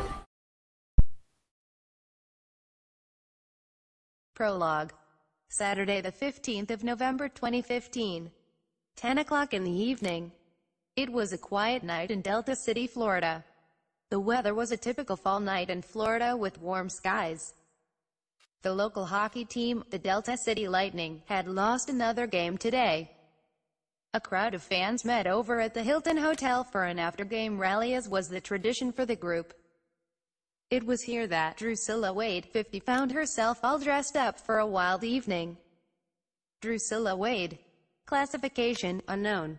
Occupation, unknown. Sex, female. Age 50, born the 7th of October 1966. Sign, Libra. Mass, 231 pounds. Height, 84 inches. Body type, hourglass. Chest, 44 inches. Waist, 32 inches. Hips, 44 inches. BMI, 23.1. IQ, 235. Hair, red. Eyes, blue. Skin, white. For weeks, she had searched him out. She had learned that he would be here tonight. Her informants had told her that Smith Torres 42 would be here tonight. Human beings were animals. Like animals, they followed behaviors that were predictable. His habit on Saturday was to watch a hockey game at his personal suite at the arena. Then, he would get hotel suite at the Hilton and celebrate in style with a beautiful woman. Smith Torres, alias Black Smith. Occupation, crime boss. Sex, male. Age, 42 born the 30th of January 1973. Sign, Aquarius. Mass, 194. Height, 76. Neck, 16. Chest, 42. Waist, 34. BMI, 23.6. IQ, 115. Hair, brown. Eyes, brown. Skin, brown. Fill in stats. Mass, 194 pounds. Strength 194 pounds. Pound to tons 2000, 0.097. Divide by 582 pounds, 0.33. Divide by 100 pounds, 1.94. Divide by 1010 pounds, 0.19. Speed walk 5 miles per hour. Speed run 10 miles per hour. Energy sleeping 1960 kilocalories. Energy required 2,352 kilocalories. Energy walking 1,960 kilocalories. Energy required 2,450 kilocalories. She had worn a revealing dress that night. The fabric hugged her body tight. It displayed her voluptuous body in all of its color. Though her age was 50, she still possessed the firm body of a woman in her late 20s. Her physique was a strong athletic type that was muscular when working out but it had a nice warm soft look when she was dressed for the evening. He had worn a tailored-made suit. It was a warm look that accentuated his athletic body. He was soft on the eyes when gazed upon. He having absorbed many beers and many glasses of gin were not of sound mind or sound body when his eyes met her innocent gaze. In his mind, he felt that his eyes happened upon an angel. Being a daring man who did not take no for an answer, he had his bodyguard go over and offer the lady a drink. As he observed the conversation with the attractive woman and bodyguard, he could tell that she was hesitant. The guard motioned his head and arms over to Smith Torres as the lady looked over at him. She smiled and accepted the drink. The lady came over with a guard. Thank you for the drink, mister. She paused a moment as she did not know his name. He could tell that she was flirting with him. He calmly said, I am Smith Torres. Johnny here is one of my bodyguards who was kind enough to offer hospitality to you on my behalf. She smiled and said, You must be an important man to need bodyguards. I am. He replied. Should I inquire about that business or is that a need to know and rather not say business? She said. I am into real estate and the commercial exports business. He stated. He stood up to offer a seat to the lady after he felt the conversation was going well. She accepted and sat on the sofa next to him in the lobby of the hotel. She sat in a manner that allowed for a wonderful view of her cleavage. He smiled as the strapless dress displayed her mammary glands before his eyes. He wondered in his mind if she was an undercover police officer. This is the first time that I have seen you here. He paused a moment to let her answer the question. I am Drusilla Wade. I am visiting this city on family business. Is this your first time in Delta City, Drusilla? No, in fact, this is the first time that I have been to the United States in 30 years. I have lived on a private island in the Pacific Ocean away from civilization. I am staying here at the Hilton for the weekend. How fortunate for you that you met me here tonight. Do you watch hockey? He asked. I used to watch it years ago when the city first got the team. They did not win much back then. That's okay, they have not won much lately either. He said while laughing. He ordered a new set of drinks for the two and sat down next to Drusilla. She smiled and flirted back at Smith with playful confidence. Are you trying to seduce me, Smith? She asked. I was hoping to share some drinks and make conversation, Drusilla. He said flirting back. It's okay Smith, I am an older woman. I understand that men your age are not into games or girl traps. Good, I was never really into childhood games. He said. What kind of games are you into, Smith? She asked. I am into couple activities, Drusilla. Are you into couple activities? He asked. Are these activities physical in nature or are they mental in nature? She asked. They start as physical in the evening and gradually become mental as the night progresses he said. I am afraid that I will require a demonstration before I can render an opinion, Smith. I will be happy to demonstrate. Consider this a sample of dessert Drusilla, he said. He took her up in his arms and kissed her lips tenderly. It was a great kiss. The kiss warmed her chest muscles as her breath was drawn from her body. Her bosoms became erect with passion as they pressed up against his chest. Her eyes glistened with fire as he demonstrated his animal passion on her lips. She savored every second of the kiss. Shall we go to my suite or your suite? She asked. He replied, Let's go back to my suite, Drusilla. Lead the way, she said. Later, the sexually excited adults made their way to his suite for the night. The bodyguards followed along with the couple. They made their way to the top floor where all the luxury suites were located. Smith Torres had his bodyguards stand outside in the hall with instructions not to let anyone disturb them until the morning. Smith opened the door with his keycard and let Drusilla in the room. Barbara Cummings, alias Escher the Thief, Classification AMH. Occupation Model and Federal Agent. Sex Female. Age 23 born the 25th of September 1993. Sign Libra. Mass 154 pounds. Height 69 inches. Body type Hourglass. Chest 39 inches. Waist 24 inches. Hips 38 inches. BMI 22.8. IQ 115. Hair blonde. Eyes blue. Skin white. Heroine stats. Mass 154 pounds. Strength 154 pounds. Pound to tons 2000 0.077.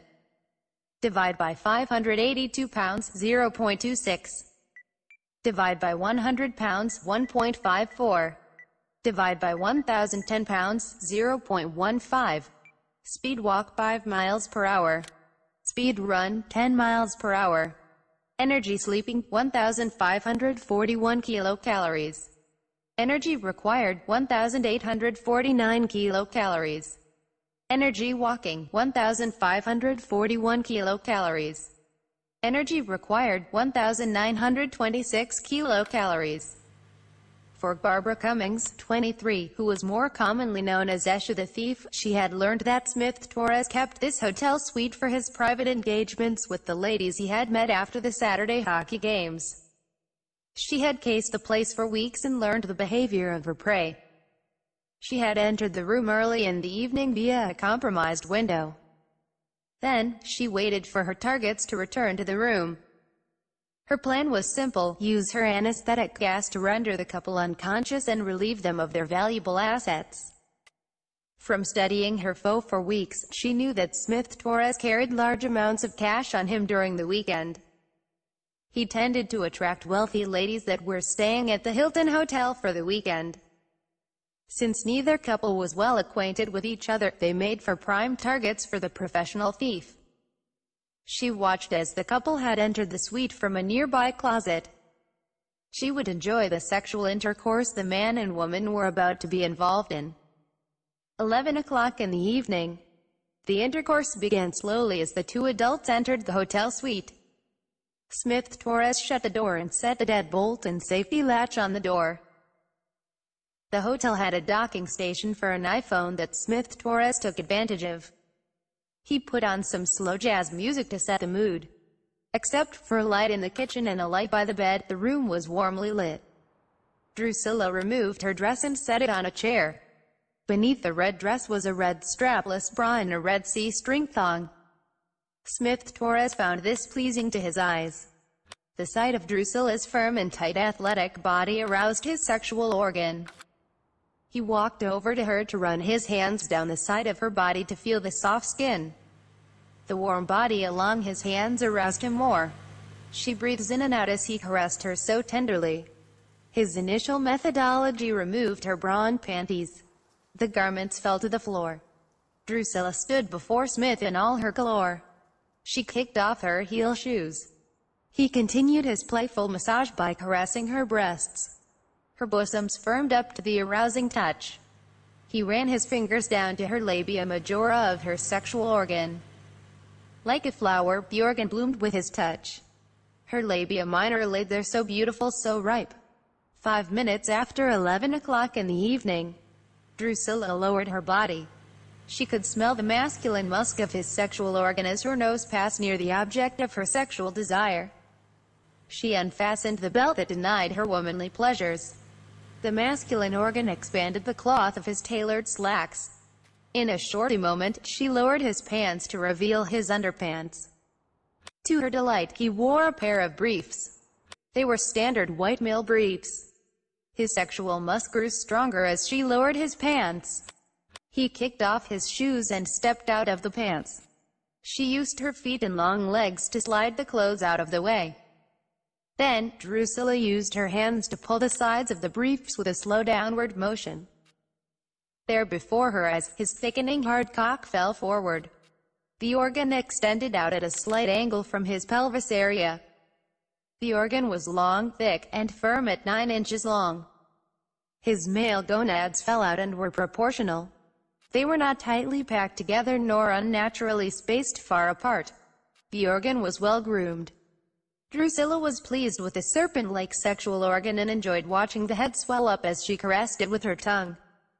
Initially, the head was dry and had a sticky texture to her touch. She used her right hand to grip the long shaft firmly. Her strong hands felt like a steel machine vice squeezing down on the shaft of his cock. He was taken back by her strength. Never before had any woman held his sexual organ with such a firm grip. The organ grew out longer with her grip. Ten minutes after 11 o'clock in the evening, Drusilla took the organ into her mouth. At first, she teased his mind by only stimulating the head with her warm lips and tongue. Her warm and mesmerizing stare looked up into his eyes and made him harder with each caress. She took him into her mouth and out of her mouth for ten minutes. She oscillated the behavior again and again with her hand in her mouth. He felt his muscles twitch as he tried to relax. He did not want to prematurely ejaculate. She continued her sexual behavior on his cock again and again. Shallow and deep she took the organ into her warm moist mouth and deep throat. He prayed in his mind please, don't let this bitch turn out to be a cop. 20 minutes after 11 o'clock in the evening. As Drusilla continued to lubricate his sexual organ, Smith Torres led her over to the bed while walking back to the bed. In a coordinated dance, the two made it over to the bed successfully. To his amazement, she never broke her strider cadence. He laid back in the bed as she repositioned her body between his spread legs. Esha, who was watching the spectacle let out as her body became aroused from the sodomy. Unknown to the quiet thief observing the sexual intercourse from the shadows, Drusilla was aware that she was there. She could smell the scent of the female thief when they started the sex. Drusilla just continued on as if Asha did not exist. 25 minutes after 11 o'clock in the evening, Smith Torres growing anxious by the moment had guided Drusilla onto the bed. He had to have her now. She straddled her legs across his hips and took the erect cock into her vaginal opening with her back to his face. The warm lubrication of her vaginal fluids and the velvet texture of her inner vagina graced his cock with every inch he went into her body. Her muscles were so tight as she lowered her body onto his. He felt the inner walls of her vagina as his cock went deeper into her organ. As his organ passed through the hot cavity, he could feel the tight muscles of her cervix pass over his penis head. She tightened her muscles firmly around his cock as she moved her body down and up. Thirty minutes past 11 o'clock in the evening. They continued their long sexual intercourse. He found his hands caressing her large breast as she went down and up on his cock. The texture and the sight of her body aroused him more as she went down and up. He could feel her muscles tightening up as the heat inside her body built up as she went down and up. In an instant, she sprayed her vaginal juices all over her body in a climax. The warm body liquid doused his body in a spectacular eruption. She did not break stride after the orgasm. Her body intensified in the heat after the orgasm. Her body was electrified with energy. Her eyes glowed with fire. She continued on like a marathon runner. He knew this was just her manner of warming up for the intercourse. 35 minutes past 11 o'clock in the evening. The two continued on with their sexual intercourse with Drusilla releasing an orgasm at regular intervals. She was a sexual dynamo on his cock.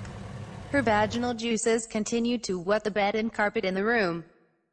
Smith Torres finding it difficult to maintain his erection and self-control felt his muscles tighten up. He could feel the intensity building within his body. He would fill her cavity soon. From the closet, Esha could only gaze upon the couple in full view of Drusilla's anterior side. Drusilla's body obscured Smith's head. All that Esha could see were Smith's hands caressing her large breast. She could see his large cock going in and out of Drusilla's tight vagina. The sexual musk in the air and the sounds of the couple's breaths operating in concert aroused Barbara.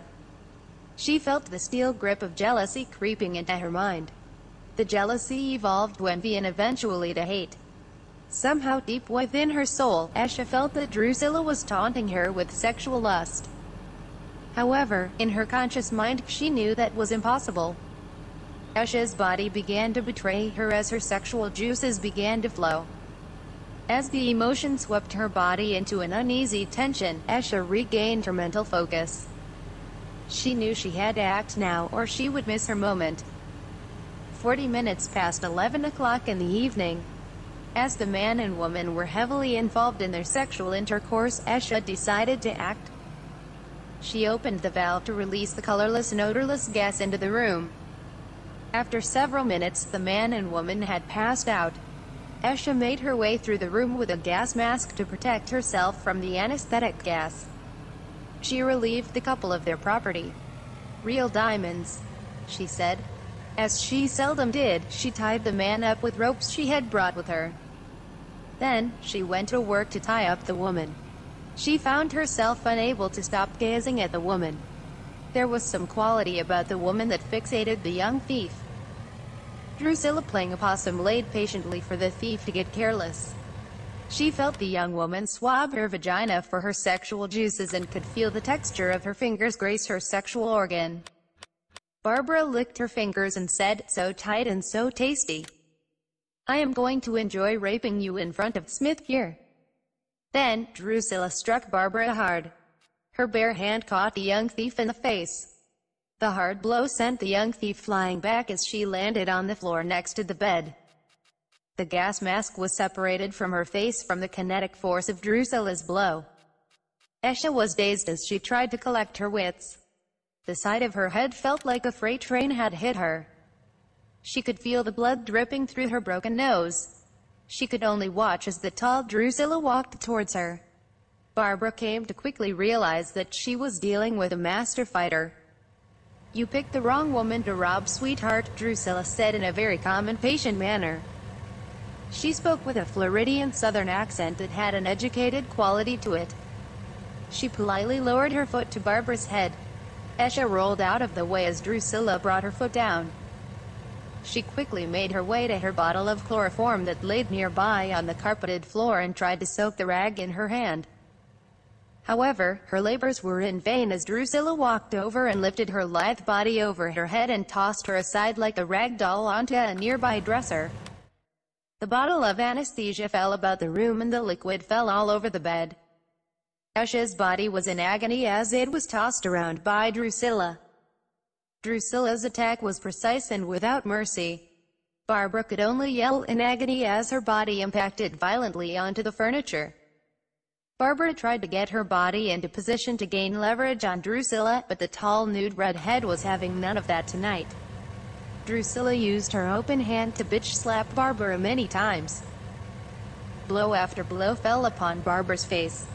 She could feel her muscles tightening with bruises. Her mind was numb from the shock. Barbara tried to use her martial arts training to remove Drusilla's hands from her shoulders. This proved useless and only resulted in her being hurled through the air and landing on her back. Smith Torres regained his consciousness but was unable to act as his arms and legs were hog-tied together restricting his movement. He could only watch helplessly as Drusilla fought with the female thief. You should have been a model, darling. This line of work does not suit you, Drusilla said. Drusilla picked up the brown bottle to analyze the contents. Chloroform? A good plan and I give you points for the anesthesia gas. Unfortunately, you picked the one woman who is not affected by those things. I am afraid that I do not understand the black bikini outfit. I suppose that you use it to entice your victims. I do like your originality. Drusilla said. Drusilla picked up the dazed Barbara. She threw her about the room several times. She threw Barbara around to wear her body out but not to kill her. She wanted to teach the thief a lesson. Drusilla seemed to grow and expand her body mass. Barbara was not sure if what she was witnessing. Drusilla walked over and picked the lithe body of Barbara Cummings and sat her body on her right shoulder. Barbara's buttocks were facing away from Drusilla with her waist draped over Drusilla's shoulder like a folded bath towel. Drusilla picked up the brown bottle of chloroform and stuffed it into Barbara's rectum. Barbara could only let out a faint whimper as the bottle entered her body. The bottle was left completely submerged into the cavity. I trust that you will be able to hold on to that. She paused for a moment to think. You know, I have no idea what your name is, honey, but I do love the shoes, Drusilla said. In a desperate attempt to escape from Drusilla's hold, Barbara produced a hidden knife from her formal black gloves and plunged the knife into the back of Drusilla's leg. The blade snapped when it made contact with Drusilla's thigh. Drusilla felt something hit her leg, but it did not break her stride. Drusilla laughed wickedly at Barbara. You are an Aphrodite, Barbara said with a weak voice fighting to get oxygen to her lungs before she passed out from exhaustion. No one mourns for the wicked, darling. I used to be an Aphrodite, Drusilla said. Drusilla lifted the lithe body of Esha over her head and shoulders pressing her like an empty barbell. The posterior side of her body was facing the ceiling. Esha, still conscious of her situation, lay helplessly in the air. Drusilla used her strength to force Esha to orgasm really hard while perched high above her shoulders. Esha moaned as her sexual juices sprayed the carpet in the room. I believe that is what you had intended for me, whoever you are. Your musk has a wonderful sexual scent. I certainly hope that you have life insurance, dear. I am afraid this is going to hurt like a bitch, honey. But death will bring you peace. Unfortunately, it only brought me agony. Drusilla threw the helpless body of Barbara Cummings through the glass window of the hotel suite. The glass shattered into many pieces. Barbara screamed her last breath as she rationalized her impending doom. Her last voice of consciousness was out of time. Her lithe body tumbled through the air as it shattered on the pavement below the 40 stories high-rise hotel in downtown Delta City. Fifty minutes past 11 o'clock in the evening. Drusilla untied Smith Torres and handed Smith his clothes. He thanked her for her service while putting his clothes back on and said, Thank you, Drusilla. I should pay you to be my bodyguard, Drusilla. You know, to be honest, I suspected that you may be one of those superheroine types or maybe an undercover cop when I met you earlier. Most cops do not give great sex or head like you do, and those superheroines are great but not as accommodating in bed. But after your sexual performance tonight and watching you handle that thief by throwing her out of the window, I think that you are something else. Drusilla smiled while putting on her bra and panties. Did you know that woman? He continued to put his clothes back on. Yes, she is some fashion model who moonlights as a thief. I am not sure of her name, but I think her name is Esha something. He said. I am afraid that we left a lot of evidence for the police. This is the first time I have been mugged in a hotel room. Perhaps you should change your room sometimes. She clearly knew you would be here tonight, Drusilla said. That's fine, by the time they figure out what's going on, we'll be long gone. For the night we can crash at one of my places to lie low. He said. Does this mean our couple activities are done for the night? She asked. Consider this the halftime before the next two quarters. He replied. I like your style, Smith, she said. The two left the building before the police arrived at the hotel. They made their way to one of his safe houses. Smith Torres had the guards take care of their records at the hotel lobby before the police arrived in time to seize those records and video footage. Asterisk asterisk asterisk. The agency. Field Operation Report. Classification Top Secret Psi. Director X. Codename Director X. Classification Unknown. Occupation Unknown. Sex Unknown. Age Unknown. Sign Unknown. Mass Unknown. Height unknown. Body type unknown. Chest unknown. Waist unknown. Hips unknown. Hair unknown. Eye unknown. BMI unknown. IQ unknown. Hair unknown. Eyes unknown. Skin unknown. Superheroine stats. Mass unknown. Strength unknown. Pound to tons 2000 unknown. Divide by 582 pounds unknown. Divide by 100 pounds, unknown. Divide by 1010 pounds, unknown. Speed walk, unknown. Speed run, unknown. Energy sleeping, unknown. Energy required, unknown. Energy walking, unknown. Energy required, unknown. Monday the 1st of January 2016. The following report is a detailed account of what occurred between the dates the 15th of November 2015 and the 31st of December 2015.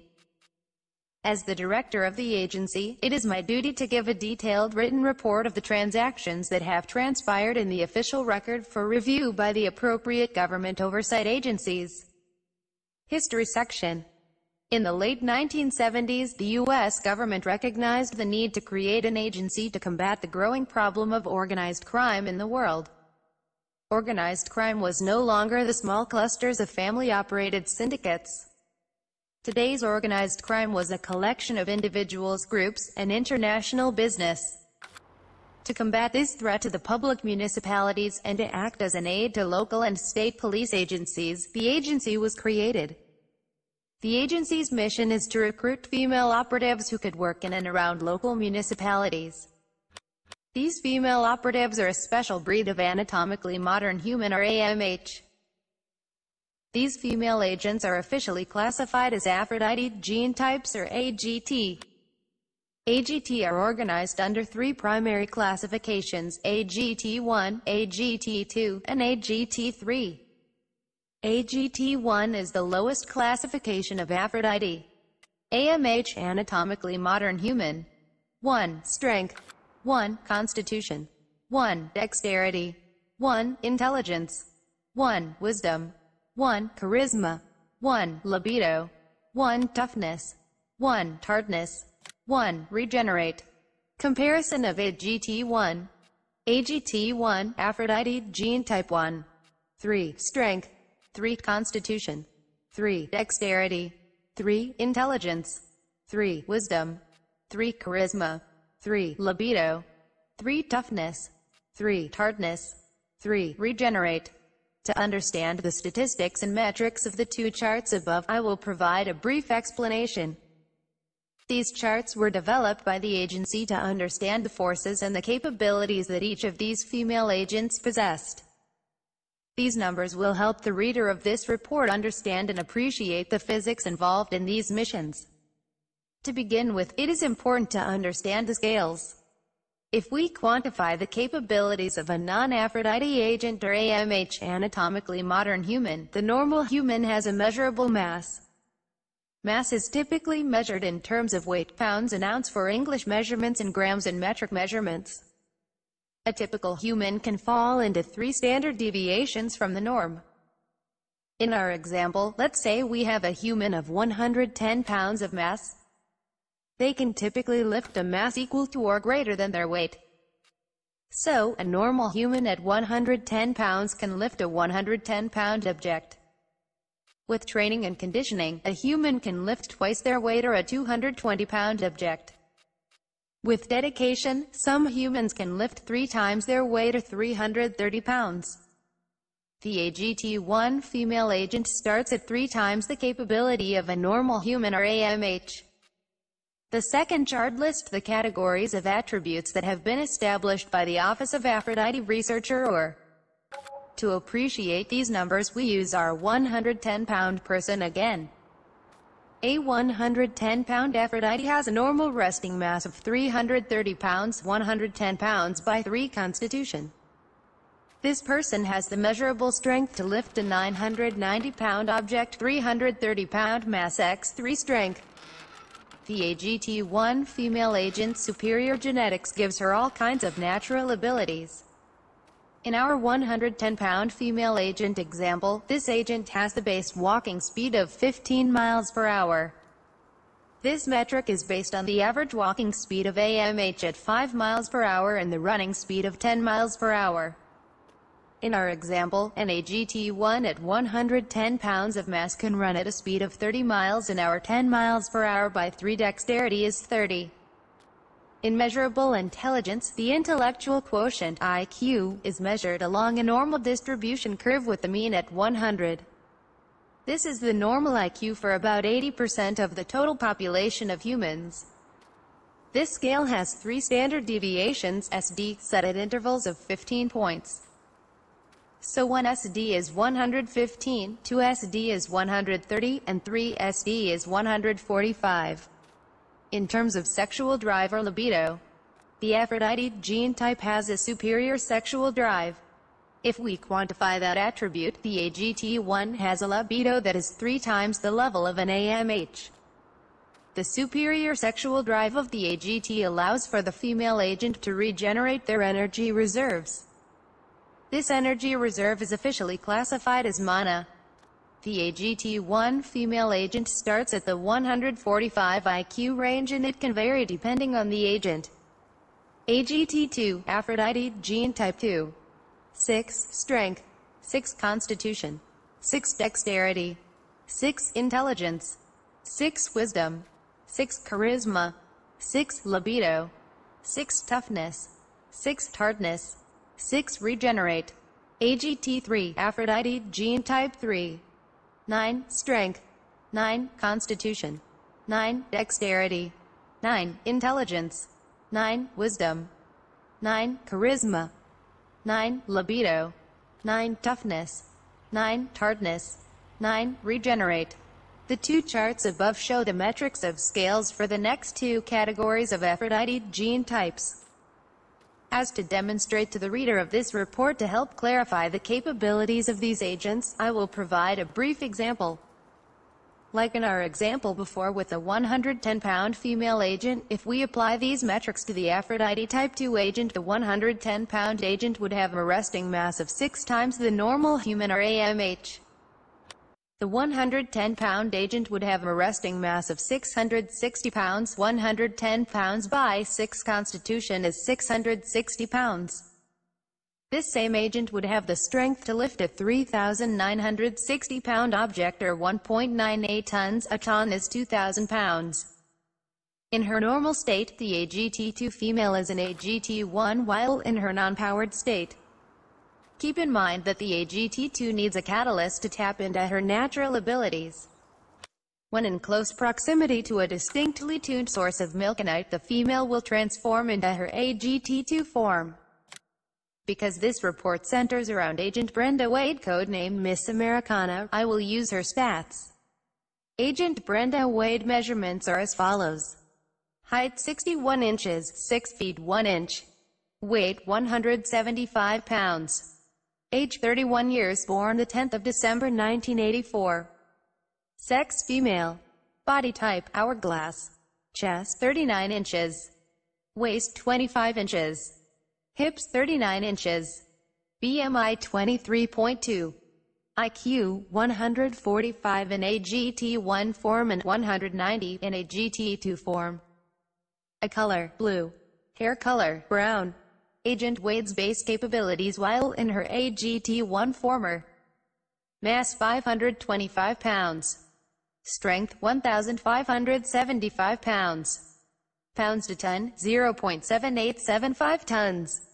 Divide by 582 pounds 2.71. Divide by 100 pounds 15.75. Divide by 1,010 pounds 1.56. Speed walk 15 miles per hour. Speed run 30 miles per hour. Energy sleeping 3,135 kilocalories. Energy required 3,762 kilocalories. Energy wake 3,135 kilocalories. Energy required 3,919 kilocalories. When Brenda Wade transforms into her AGT2 form her capabilities are Mass 3,150 pounds. Strength 18,900 pounds. Pounds to ton 9.45 tons. Divide by 582, 32.47. Divide by 100,000, 189.00. Divide by 1010, 18.71. Speed walk 30 miles per hour. Speed run 60 miles per hour. Energy sleeping 14,546 kilocalories. Energy required 17,455 kilocalories. Energy walking 14,546 kilocalories. Energy required 18,183 kilocalories. Brenda Wade's statistics and the others presented in this report is to give the reviewer a sense of scale. The metrics divide by 582 is based on the strongest human in the world statistics that set the record overhead press at 582 pounds. Divide by 100 is the average lift of 100 pounds. Divide by 1010 is based on the record set in deadlift at 1010 pounds.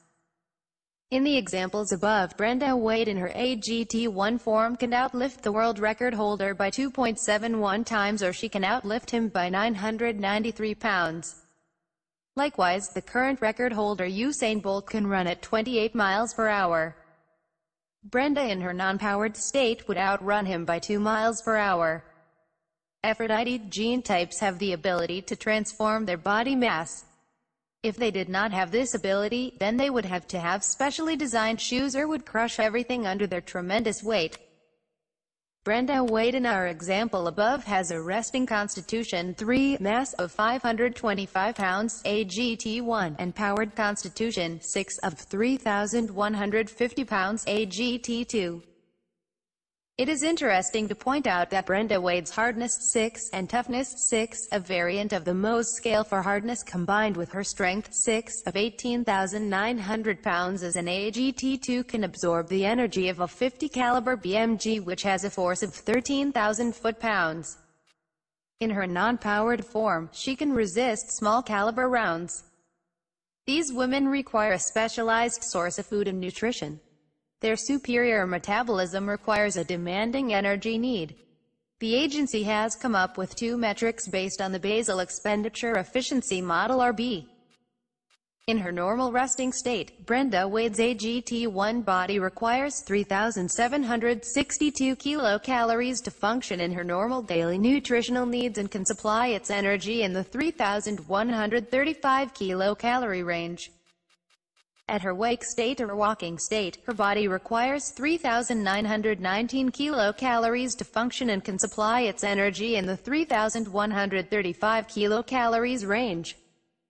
When Brenda Wade transforms into her AGT2 body, at rest, it requires 17,455 kilocalories to operate and can supply 14,546 kilocalories and at weight, it requires 18,183 kilocalories to operate and can supply 14,546 kilocalories.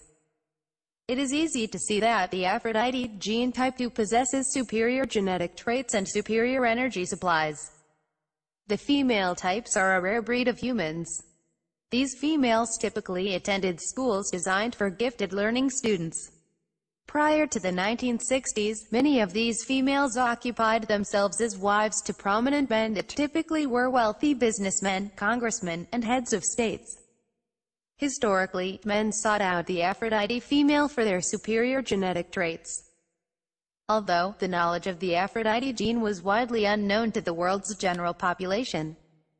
Prior to the 1940s, these Aphrodite gene types lived in a secret society. In the 1940s, the War Department of the United States began to employ some female agents with Aphrodite genes to obtain the secrets of our adversaries.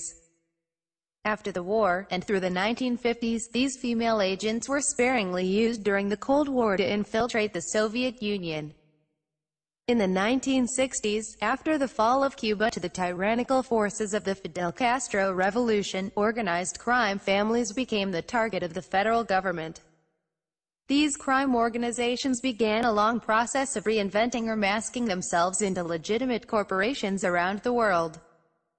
Law enforcement agencies and military forces were not equipped to deal with this growing threat. The agency was formed in the 1980s to deal with this problem.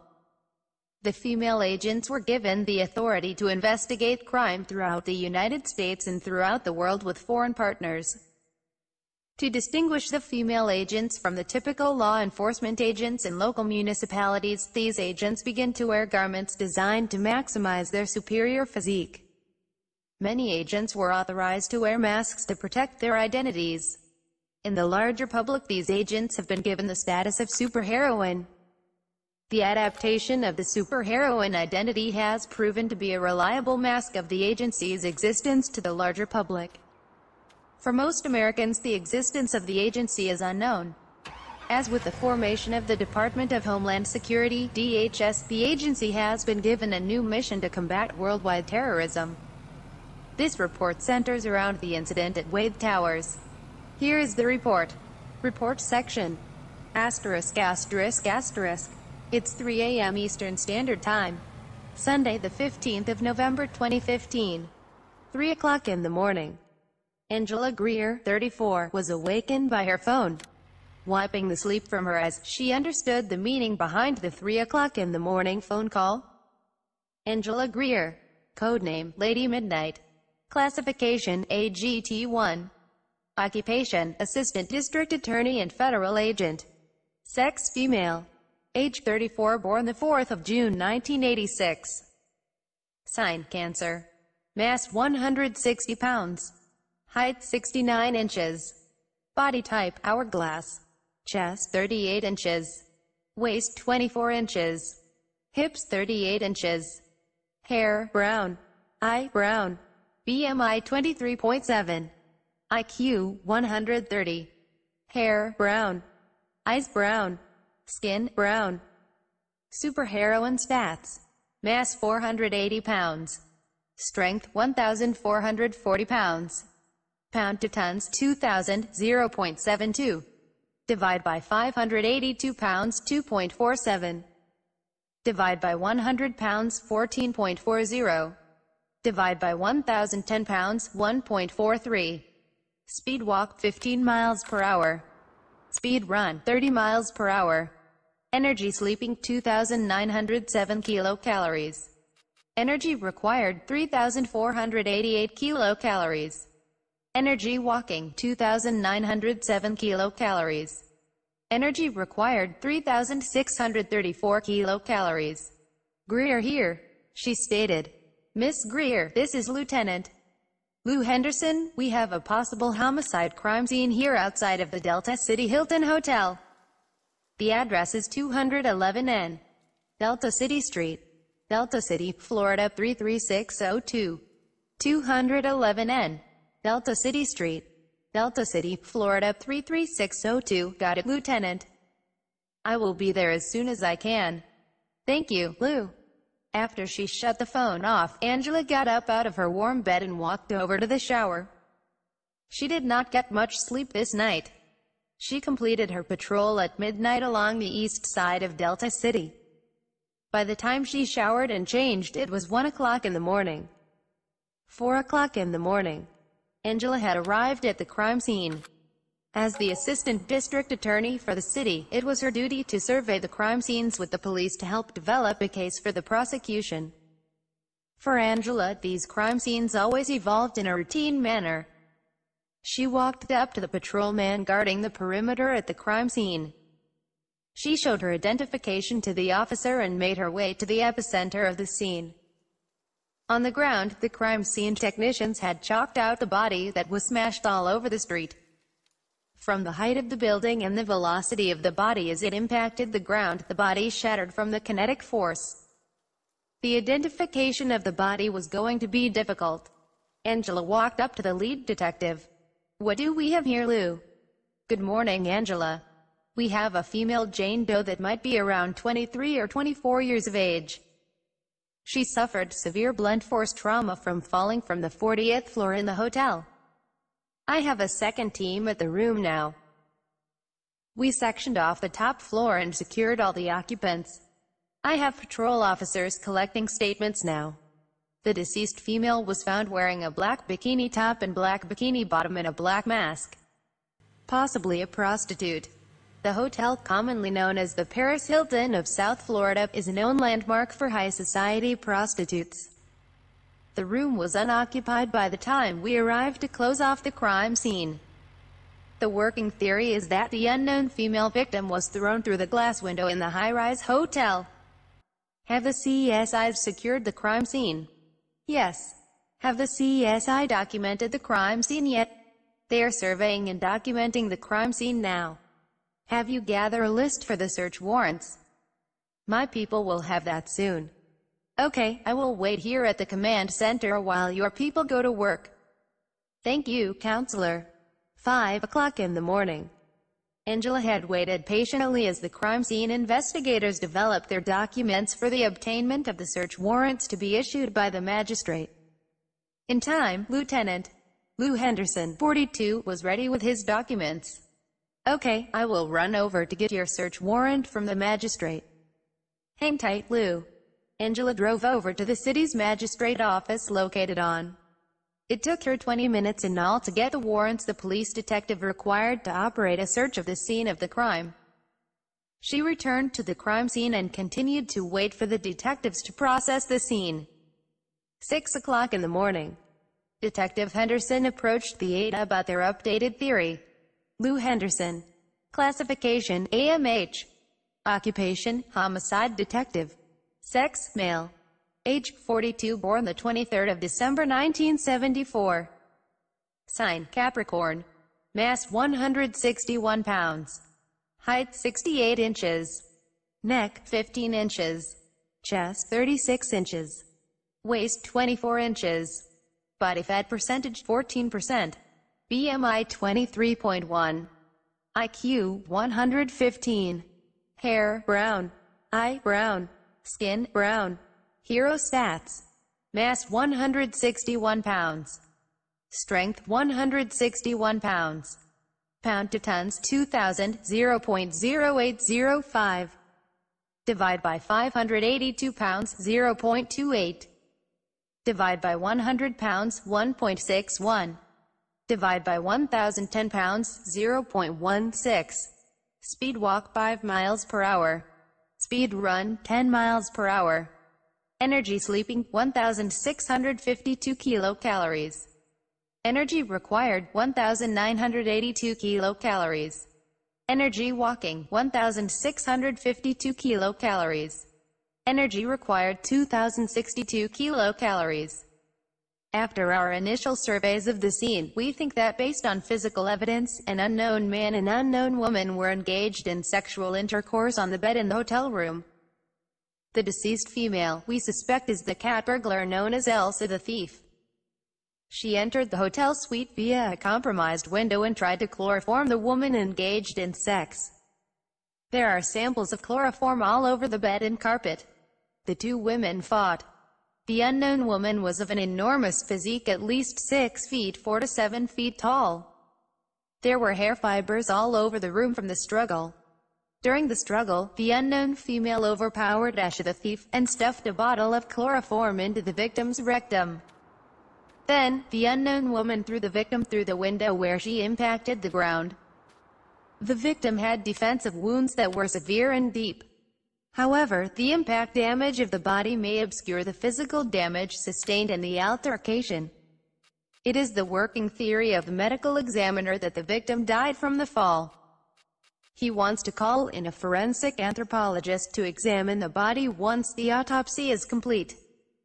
So, you are telling me that, at best we have a murder and at worst, we have a manslaughter case?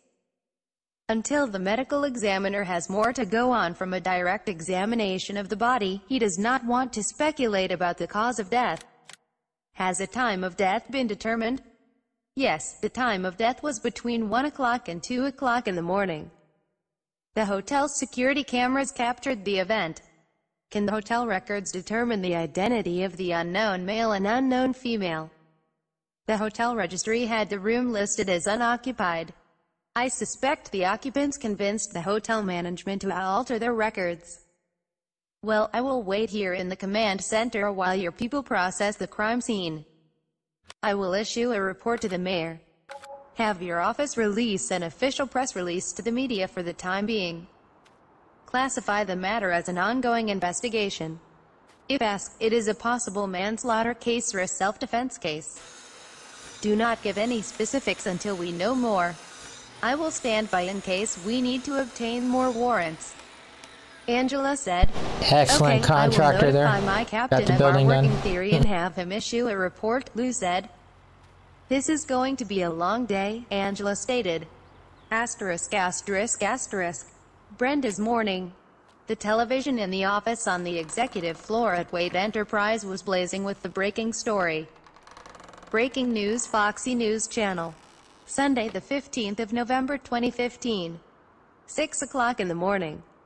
Delta City Police FL are investigating a report of a possible homicide. Eyewitnesses to the incident state that a woman was thrown from the top floor of the 40 stories hotel. Police were alerted to the scene after the incident was reported by pedestrians who quickly notified authorities using 911. Stay tuned for more details. Tanya O'Donnell, 30 for Foxy News, we report you decide. Tanya O'Donnell. Codename, Got Gal. Classification, AGT1 and AGT2. Occupation, news reporter. Sex, female. Age 30, born the 4th of June 1986. Sign, Gemini. Mass 163 pounds. Height 70 inches. Body type, hourglass. Chest 38. Waist 24. Hips 38. BMI 23.3. IQ 145. Hair blonde. Eyes blue. Skin white. Superheroine stats.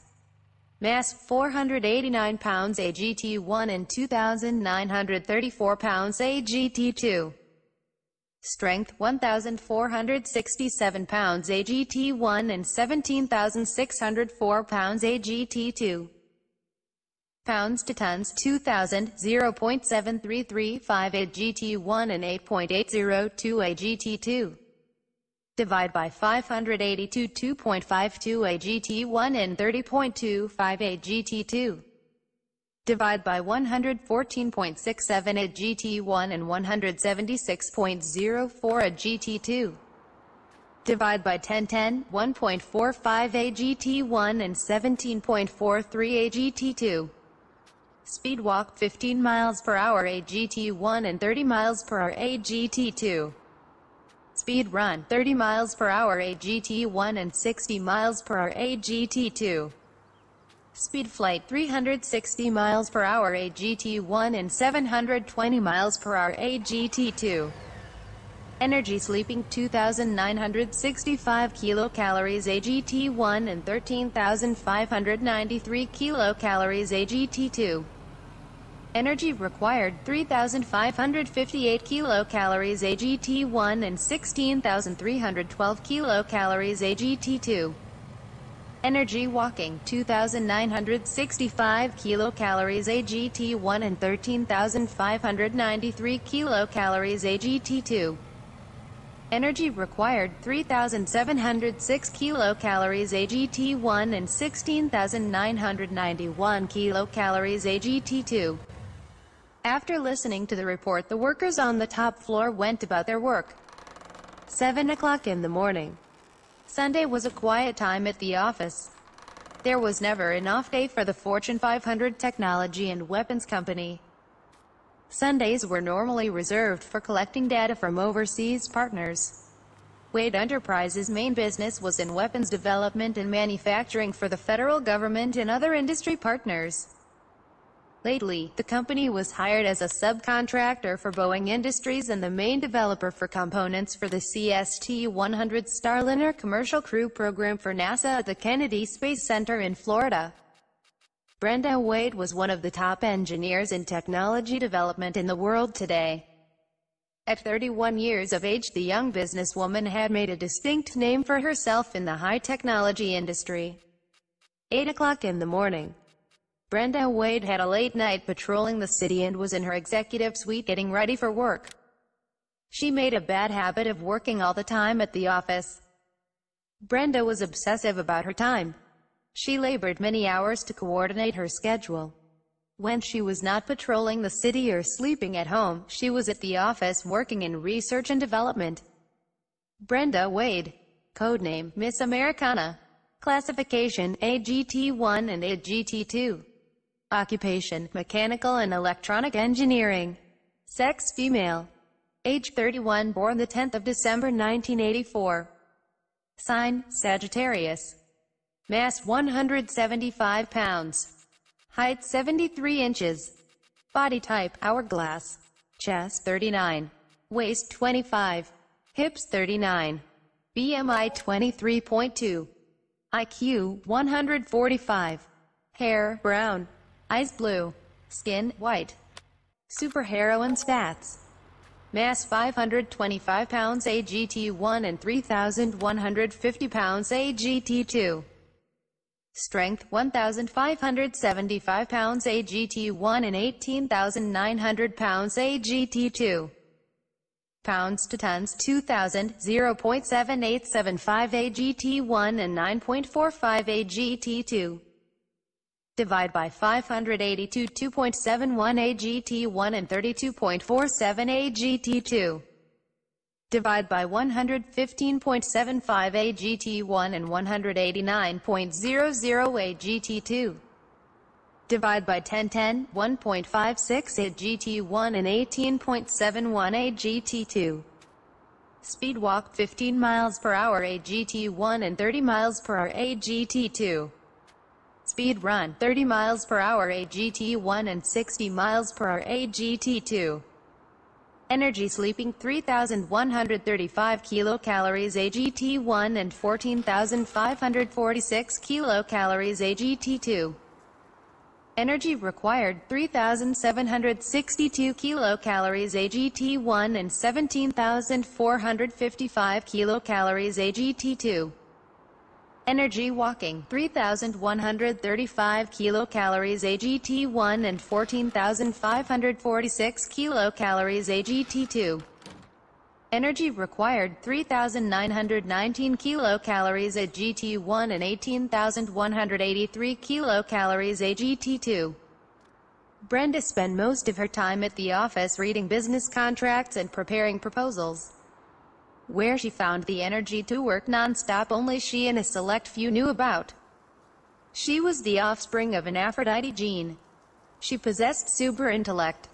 There were only a few women in the total world population that possessed the Aphrodite gene. In the known world, statistically, on a standard normal distribution curve with a known population of 7 billion people in the world, there are 3 billion 500 million women. Out of the 3 billion 500 million women, 1% of the world's population of women was Aphrodite gene-type women or better known as Aphrodites. Within this sample of 35 million women are the three types known to the world. Brenda Wade 31 and her ward Lydia Wade 17 were born as class 2 Aphrodites. In their normal homeostasis state they were Aphrodites type 1 but when in close proximity to their distinctive tuned Milkenite artifact their powers were amplified. For Brenda Wade, when near her specifically tuned Milkenite power belt, she became Miss Americana. Brenda spent Saturday night patrolling the south side of town near the docks. Coordinating her time with the other superheroines in Delta City, Brenda rotated her time patrolling sections of the town. Her section of town proved uneventful, this made for a long night. Instead of returning home to her estate in the outer part of the county, Brenda parked her car at a nearby safe house.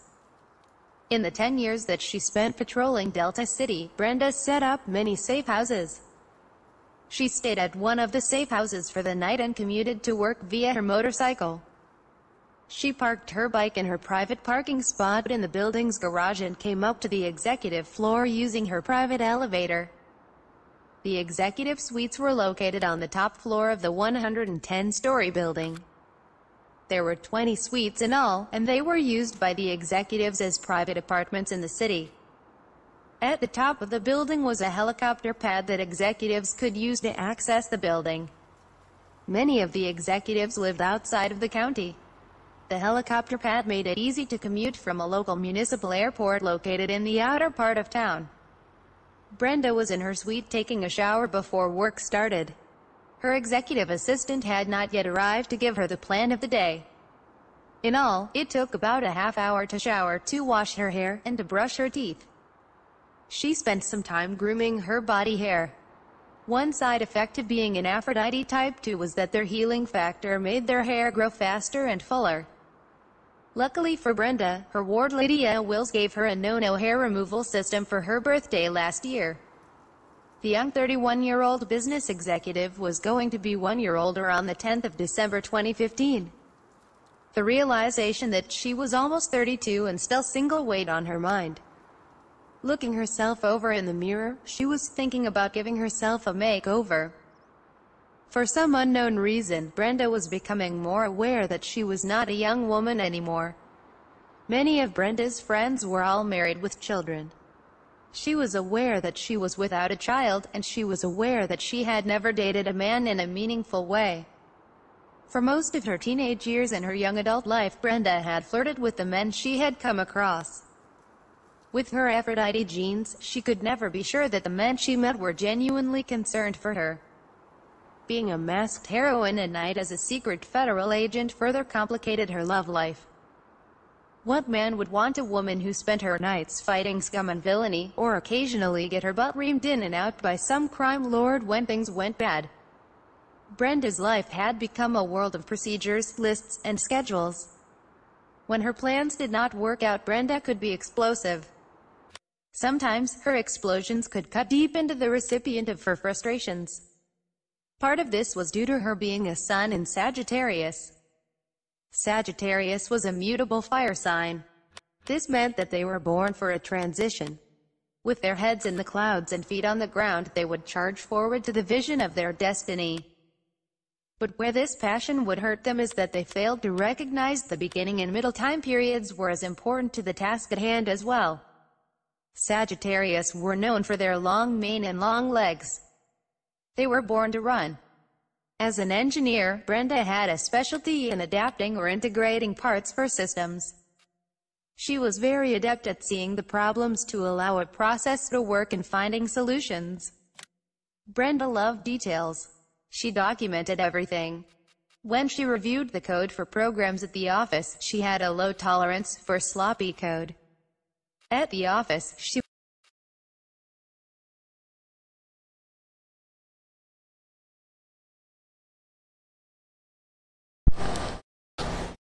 Slight delay there. What happened?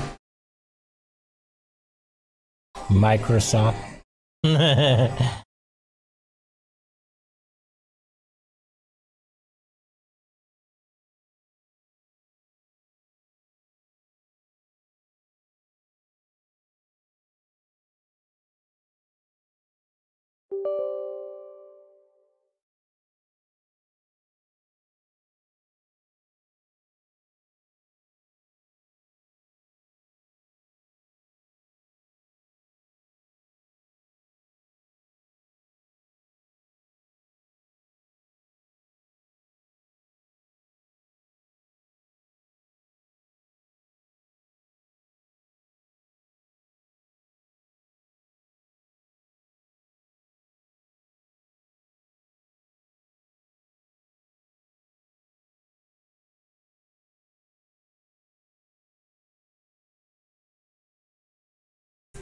Just getting to the good part. Easily remedied.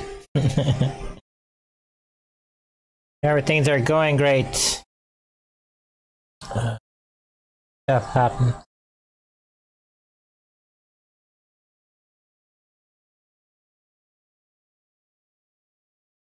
We're reviewing the stories before we get into anything in depth. Takes about two and a half hours to get through the current state of the stories.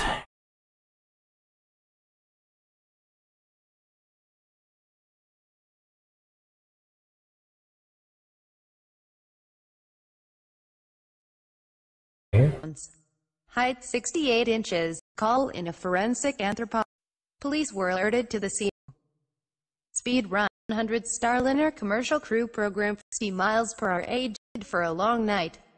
Instead of returning home to her estate in the outer part of 119 kilo strength 1,500 of age, the young businesswoman had made a distinct name for herself in the high technology industry.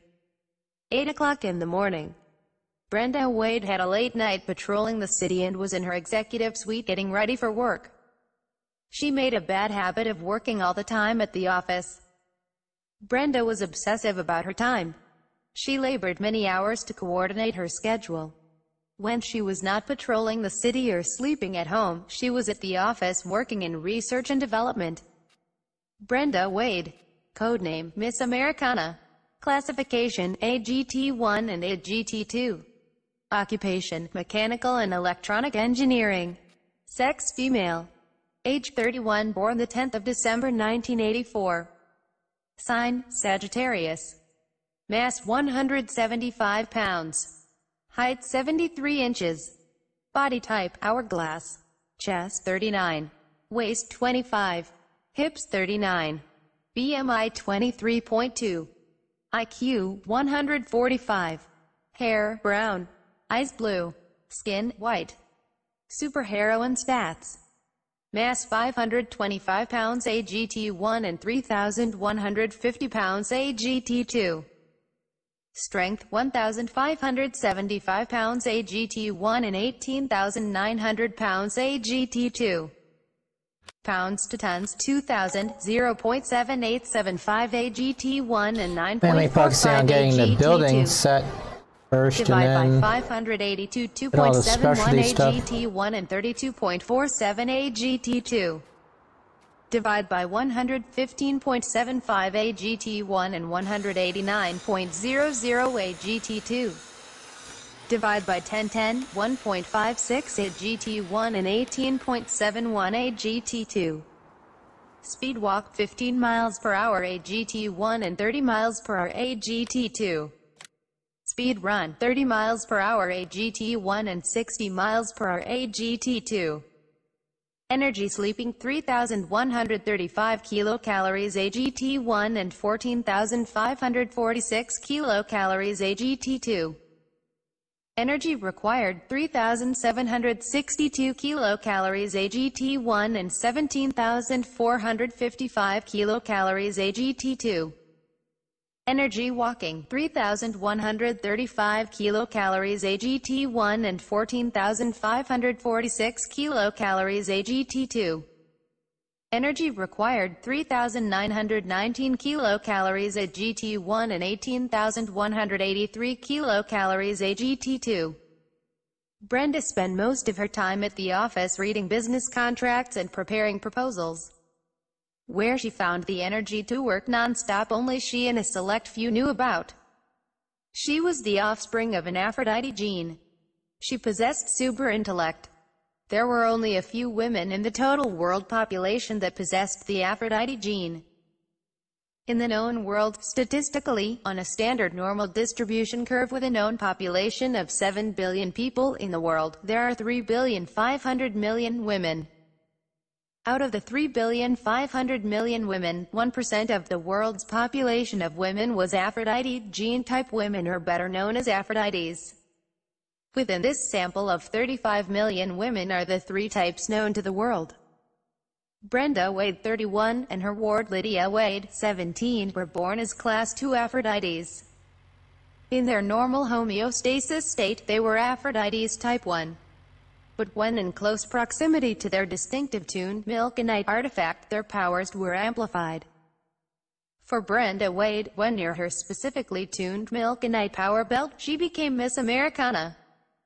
Brenda spent Saturday night patrolling the south side of town near the docks. Coordinating her time with the other superheroines in Delta City, Brenda rotated her time patrolling sections of the town. Her section of town proved uneventful. This made for a long night. Instead of returning home to her estate in the outer part of the county, Brenda parked her car at a nearby safe house. In the 10 years that she spent patrolling Delta City, Brenda set up many safe houses.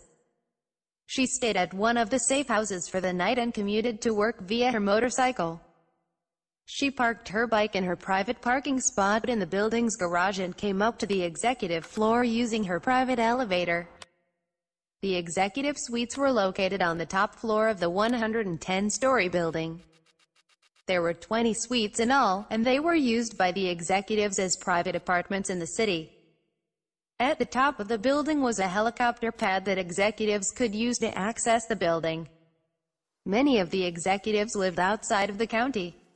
The helicopter pad made it easy to commute from a local municipal airport located in the outer part of town. Brenda was in her suite taking a shower before work started. Her executive assistant had not yet arrived to give her the plan of the day. In all, it took about a half hour to shower, to wash her hair, and to brush her teeth. She spent some time grooming her body hair. One side effect of being an Aphrodite type 2 was that their healing factor made their hair grow faster and fuller. Luckily for Brenda, her ward Anna Wills gave her a no-no hair removal system for her birthday last year. The young 31-year-old business executive was going to be one year older on the 10th of December 2015. The realization that she was almost 32 and still single weighed on her mind. Looking herself over in the mirror, she was thinking about giving herself a makeover. For some unknown reason, Brenda was becoming more aware that she was not a young woman anymore. Many of Brenda's friends were all married with children. She was aware that she was without a child, and she was aware that she had never dated a man in a meaningful way. For most of her teenage years and her young adult life, Brenda had flirted with the men she had come across. With her Aphrodite genes, she could never be sure that the men she met were genuinely concerned for her.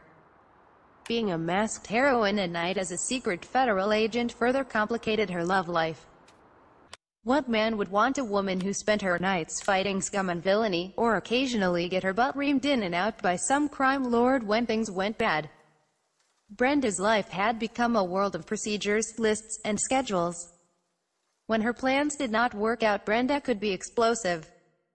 Sometimes, her explosions could cut deep into the recipient of her frustrations.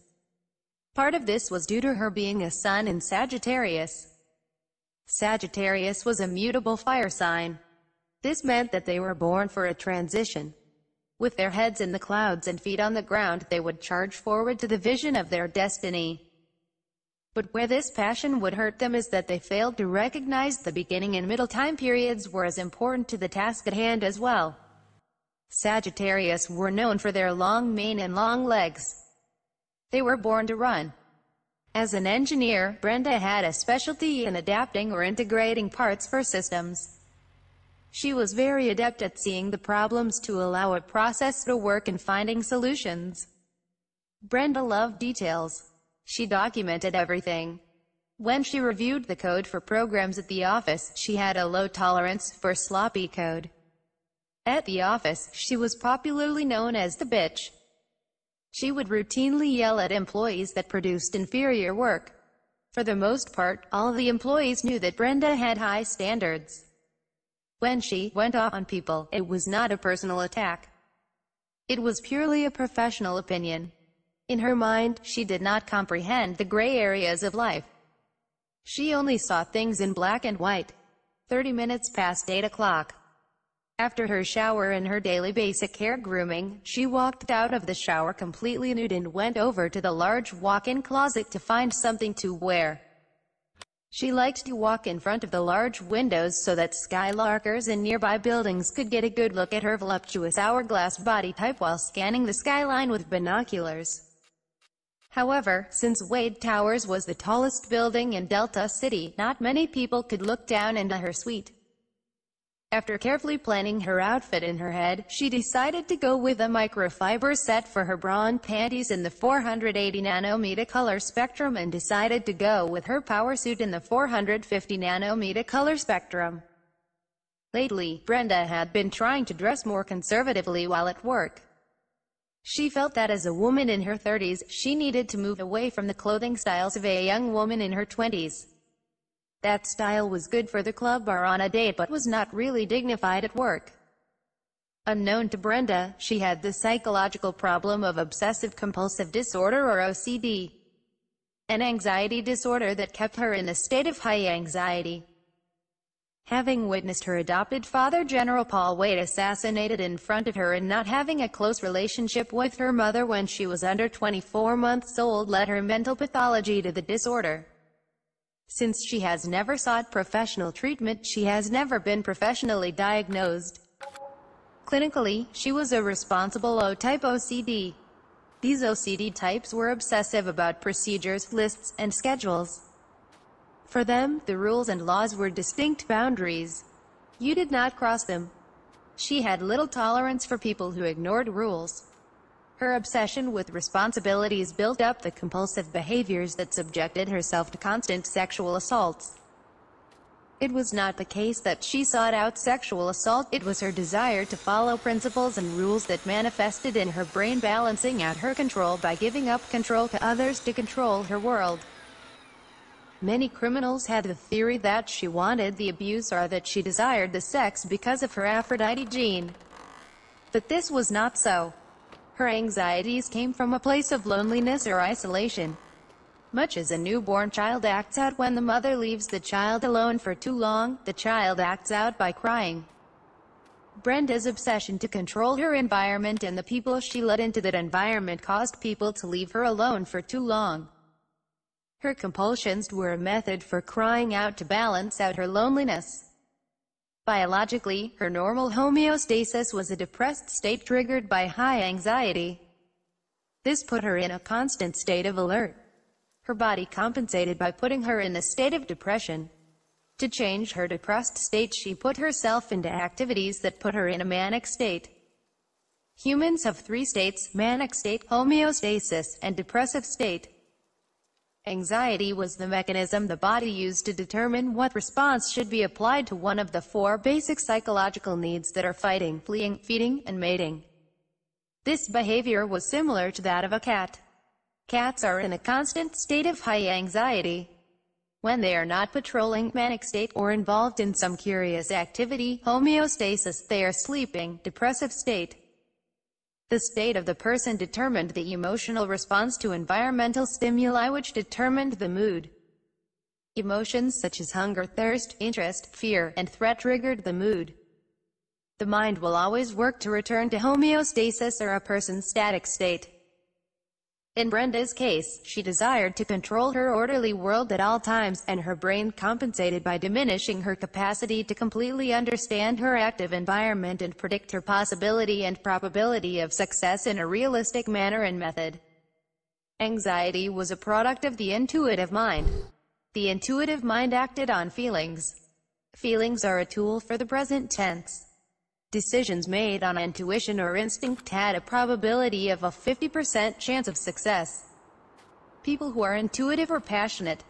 That means There that we go they ahead make and their advance to decisions the next day and before drawing on let the money mind. come in and then we can buy all the Likewise, tractors. the intellectual mind are people who made decisions based on the mind or intellect before drawing on their feelings. Need to see how many more buildings we Intelligence and need. knowledge were creatures I need of to the know how many tense. tractors we have to As a fire sign, Brenda Wade was an infinite spirit. Her decisions were guided by her heart. Through education, intellectual knowledge, and life experience the pragmatical application of the intellect, she could decrease her chance for failure. Inversely, if her instincts were wrong she would decrease her chance for success. Go ahead and advance. 9 o'clock in the morning. Brenda Wade completed her morning preparations and walked downstairs to the executive floor. The staircase led to her private office. On her way down, she passed the mailroom clerk who was collecting packages and interoffice memos for signatures. As in most municipalities, the U.S. Postal Service did not deliver residential mail on Sunday. But they did have couriers that would work with high-priority mail. Wade Enterprise operated its own staff of postal clerks and the office was attached to the main branch located at the Delta City International Airport. Good morning, Miss Wade, your mail is located in your desk, said the mailroom clerk Leonard Smalls, 25. Thank you, Brenda said as she walked over to the desk. The mail clerk delivered the mail and interoffice memos and left. Brenda worked through all the mail. She came across a letter with a foreign address that she was not familiar with. She looked up the name in the computer. The address was located on a remote island located in the North Pacific Ocean called Karnstein It's Island. dark pretty quick here. The letter reads as follows. Dear Brenda, there is not an easy way for me to write to you in the manner and method than the one I have chosen today. Forgive me, for I am not accustomed to using the modern internet method of correspondence. I am afraid that my preferred method is a pen and paper. My name is Drusilla Wade. I am the eldest biological daughter of Paul Wade and Carmilla Karnstein. She was formerly known as Carmilla Wade before they divorced in 1982. I understand that you are the adopted daughter of Paul Wade. I apologize for dropping such a letter on you after 30 years but I was not aware that Paul had died nor that he adopted a daughter. Because I live on a remote island in the Pacific Ocean, I only just became aware that I had a sister. I made travel arrangements and filed the proper paperwork to travel to Delta City, Florida. I will arrive on Monday the 16th of November 2015. I have arranged to stay at an old family estate and will drive down to Delta City to meet with you at Wade Towers. As I know this may be awkward and difficult to believe, I think it would be best to meet at your professional address. I will be at the tower at 2 o'clock in the afternoon. With love from your sister, Drusilla. Brenda was not sure how to respond to the letter. She felt numb to the news. She was not aware that she had a sister. But she felt it was best to see the validity of the woman's claims. She pressed the intercom to her assistant Leora Whipple-Forty. Leora, are you there? Yes, Miss Wade, I am here. Get hold of my attorney and have him call me as soon as possible. Yes, Miss Wade. Brenda sat back in her chair and let her mind drift away into deep thought. Asterisk asterisk asterisk. Drusilla Wade. Drusilla Wade 50 was born the eldest daughter of General Paul Wade 21 and Carmilla Wade 20 on the 7th of October 1966. Since 1985 and for 30 years, much of the world thought that she was dead. The agency had believed that Drusilla had died in a nuclear explosion that wiped out Voorhees Island. Her story begins 33 years ago. She was a young girl at the age of 18 when she joined the agency. Even as a young girl, she was testing as an Aphrodite gene type 3 or AGT3. Drusilla Wade. Codename Midnight. Classification AGT3 at the time of her death. Occupation Federal Agent. Sex female. Age 50 born the 7th of October 1966 and died the 7th of October 1984. Sign, Libra. Mass 160 pounds. Height 84 inches. Body type, hourglass. Chest 44 inches. Waist 32 inches. Hips 44 inches. BMI 23.1. IQ 235. Hair, red. Eyes blue. Skin, white. Superheroine stats. Mass 2019 pounds. Strength 18,711 pounds. Pound to tons 2009.3555. Divide by 582 pounds 32.15. Divide by 100 pounds 187.11. Divide by 1010 pounds 18.53. Speed walk 45 miles per hour. Speed run 90 miles per hour. Energy sleeping 9,953 kilocalories. Energy required 11,824 kilocalories. Energy walking 9,853 kilocalories. Energy required 12,316 kilocalories. Unlike other Aphrodite gene types Drusilla's spirit was uniquely strong. Along with their natural abilities and superior genetic traits these women possessed a strong supply of natural energy reserves. Drusilla tested at a strong 9,853 kilocalorie awake and 9,853 kilocalories at rest. This natural energy reserve was long known as the spirit and would later be formally recognized as mana energy. This spirit is what the Aphrodite used to alter their mass density and hardness. Drusilla Wade had a unique method of varying her spirit to enable her to do remarkable feats.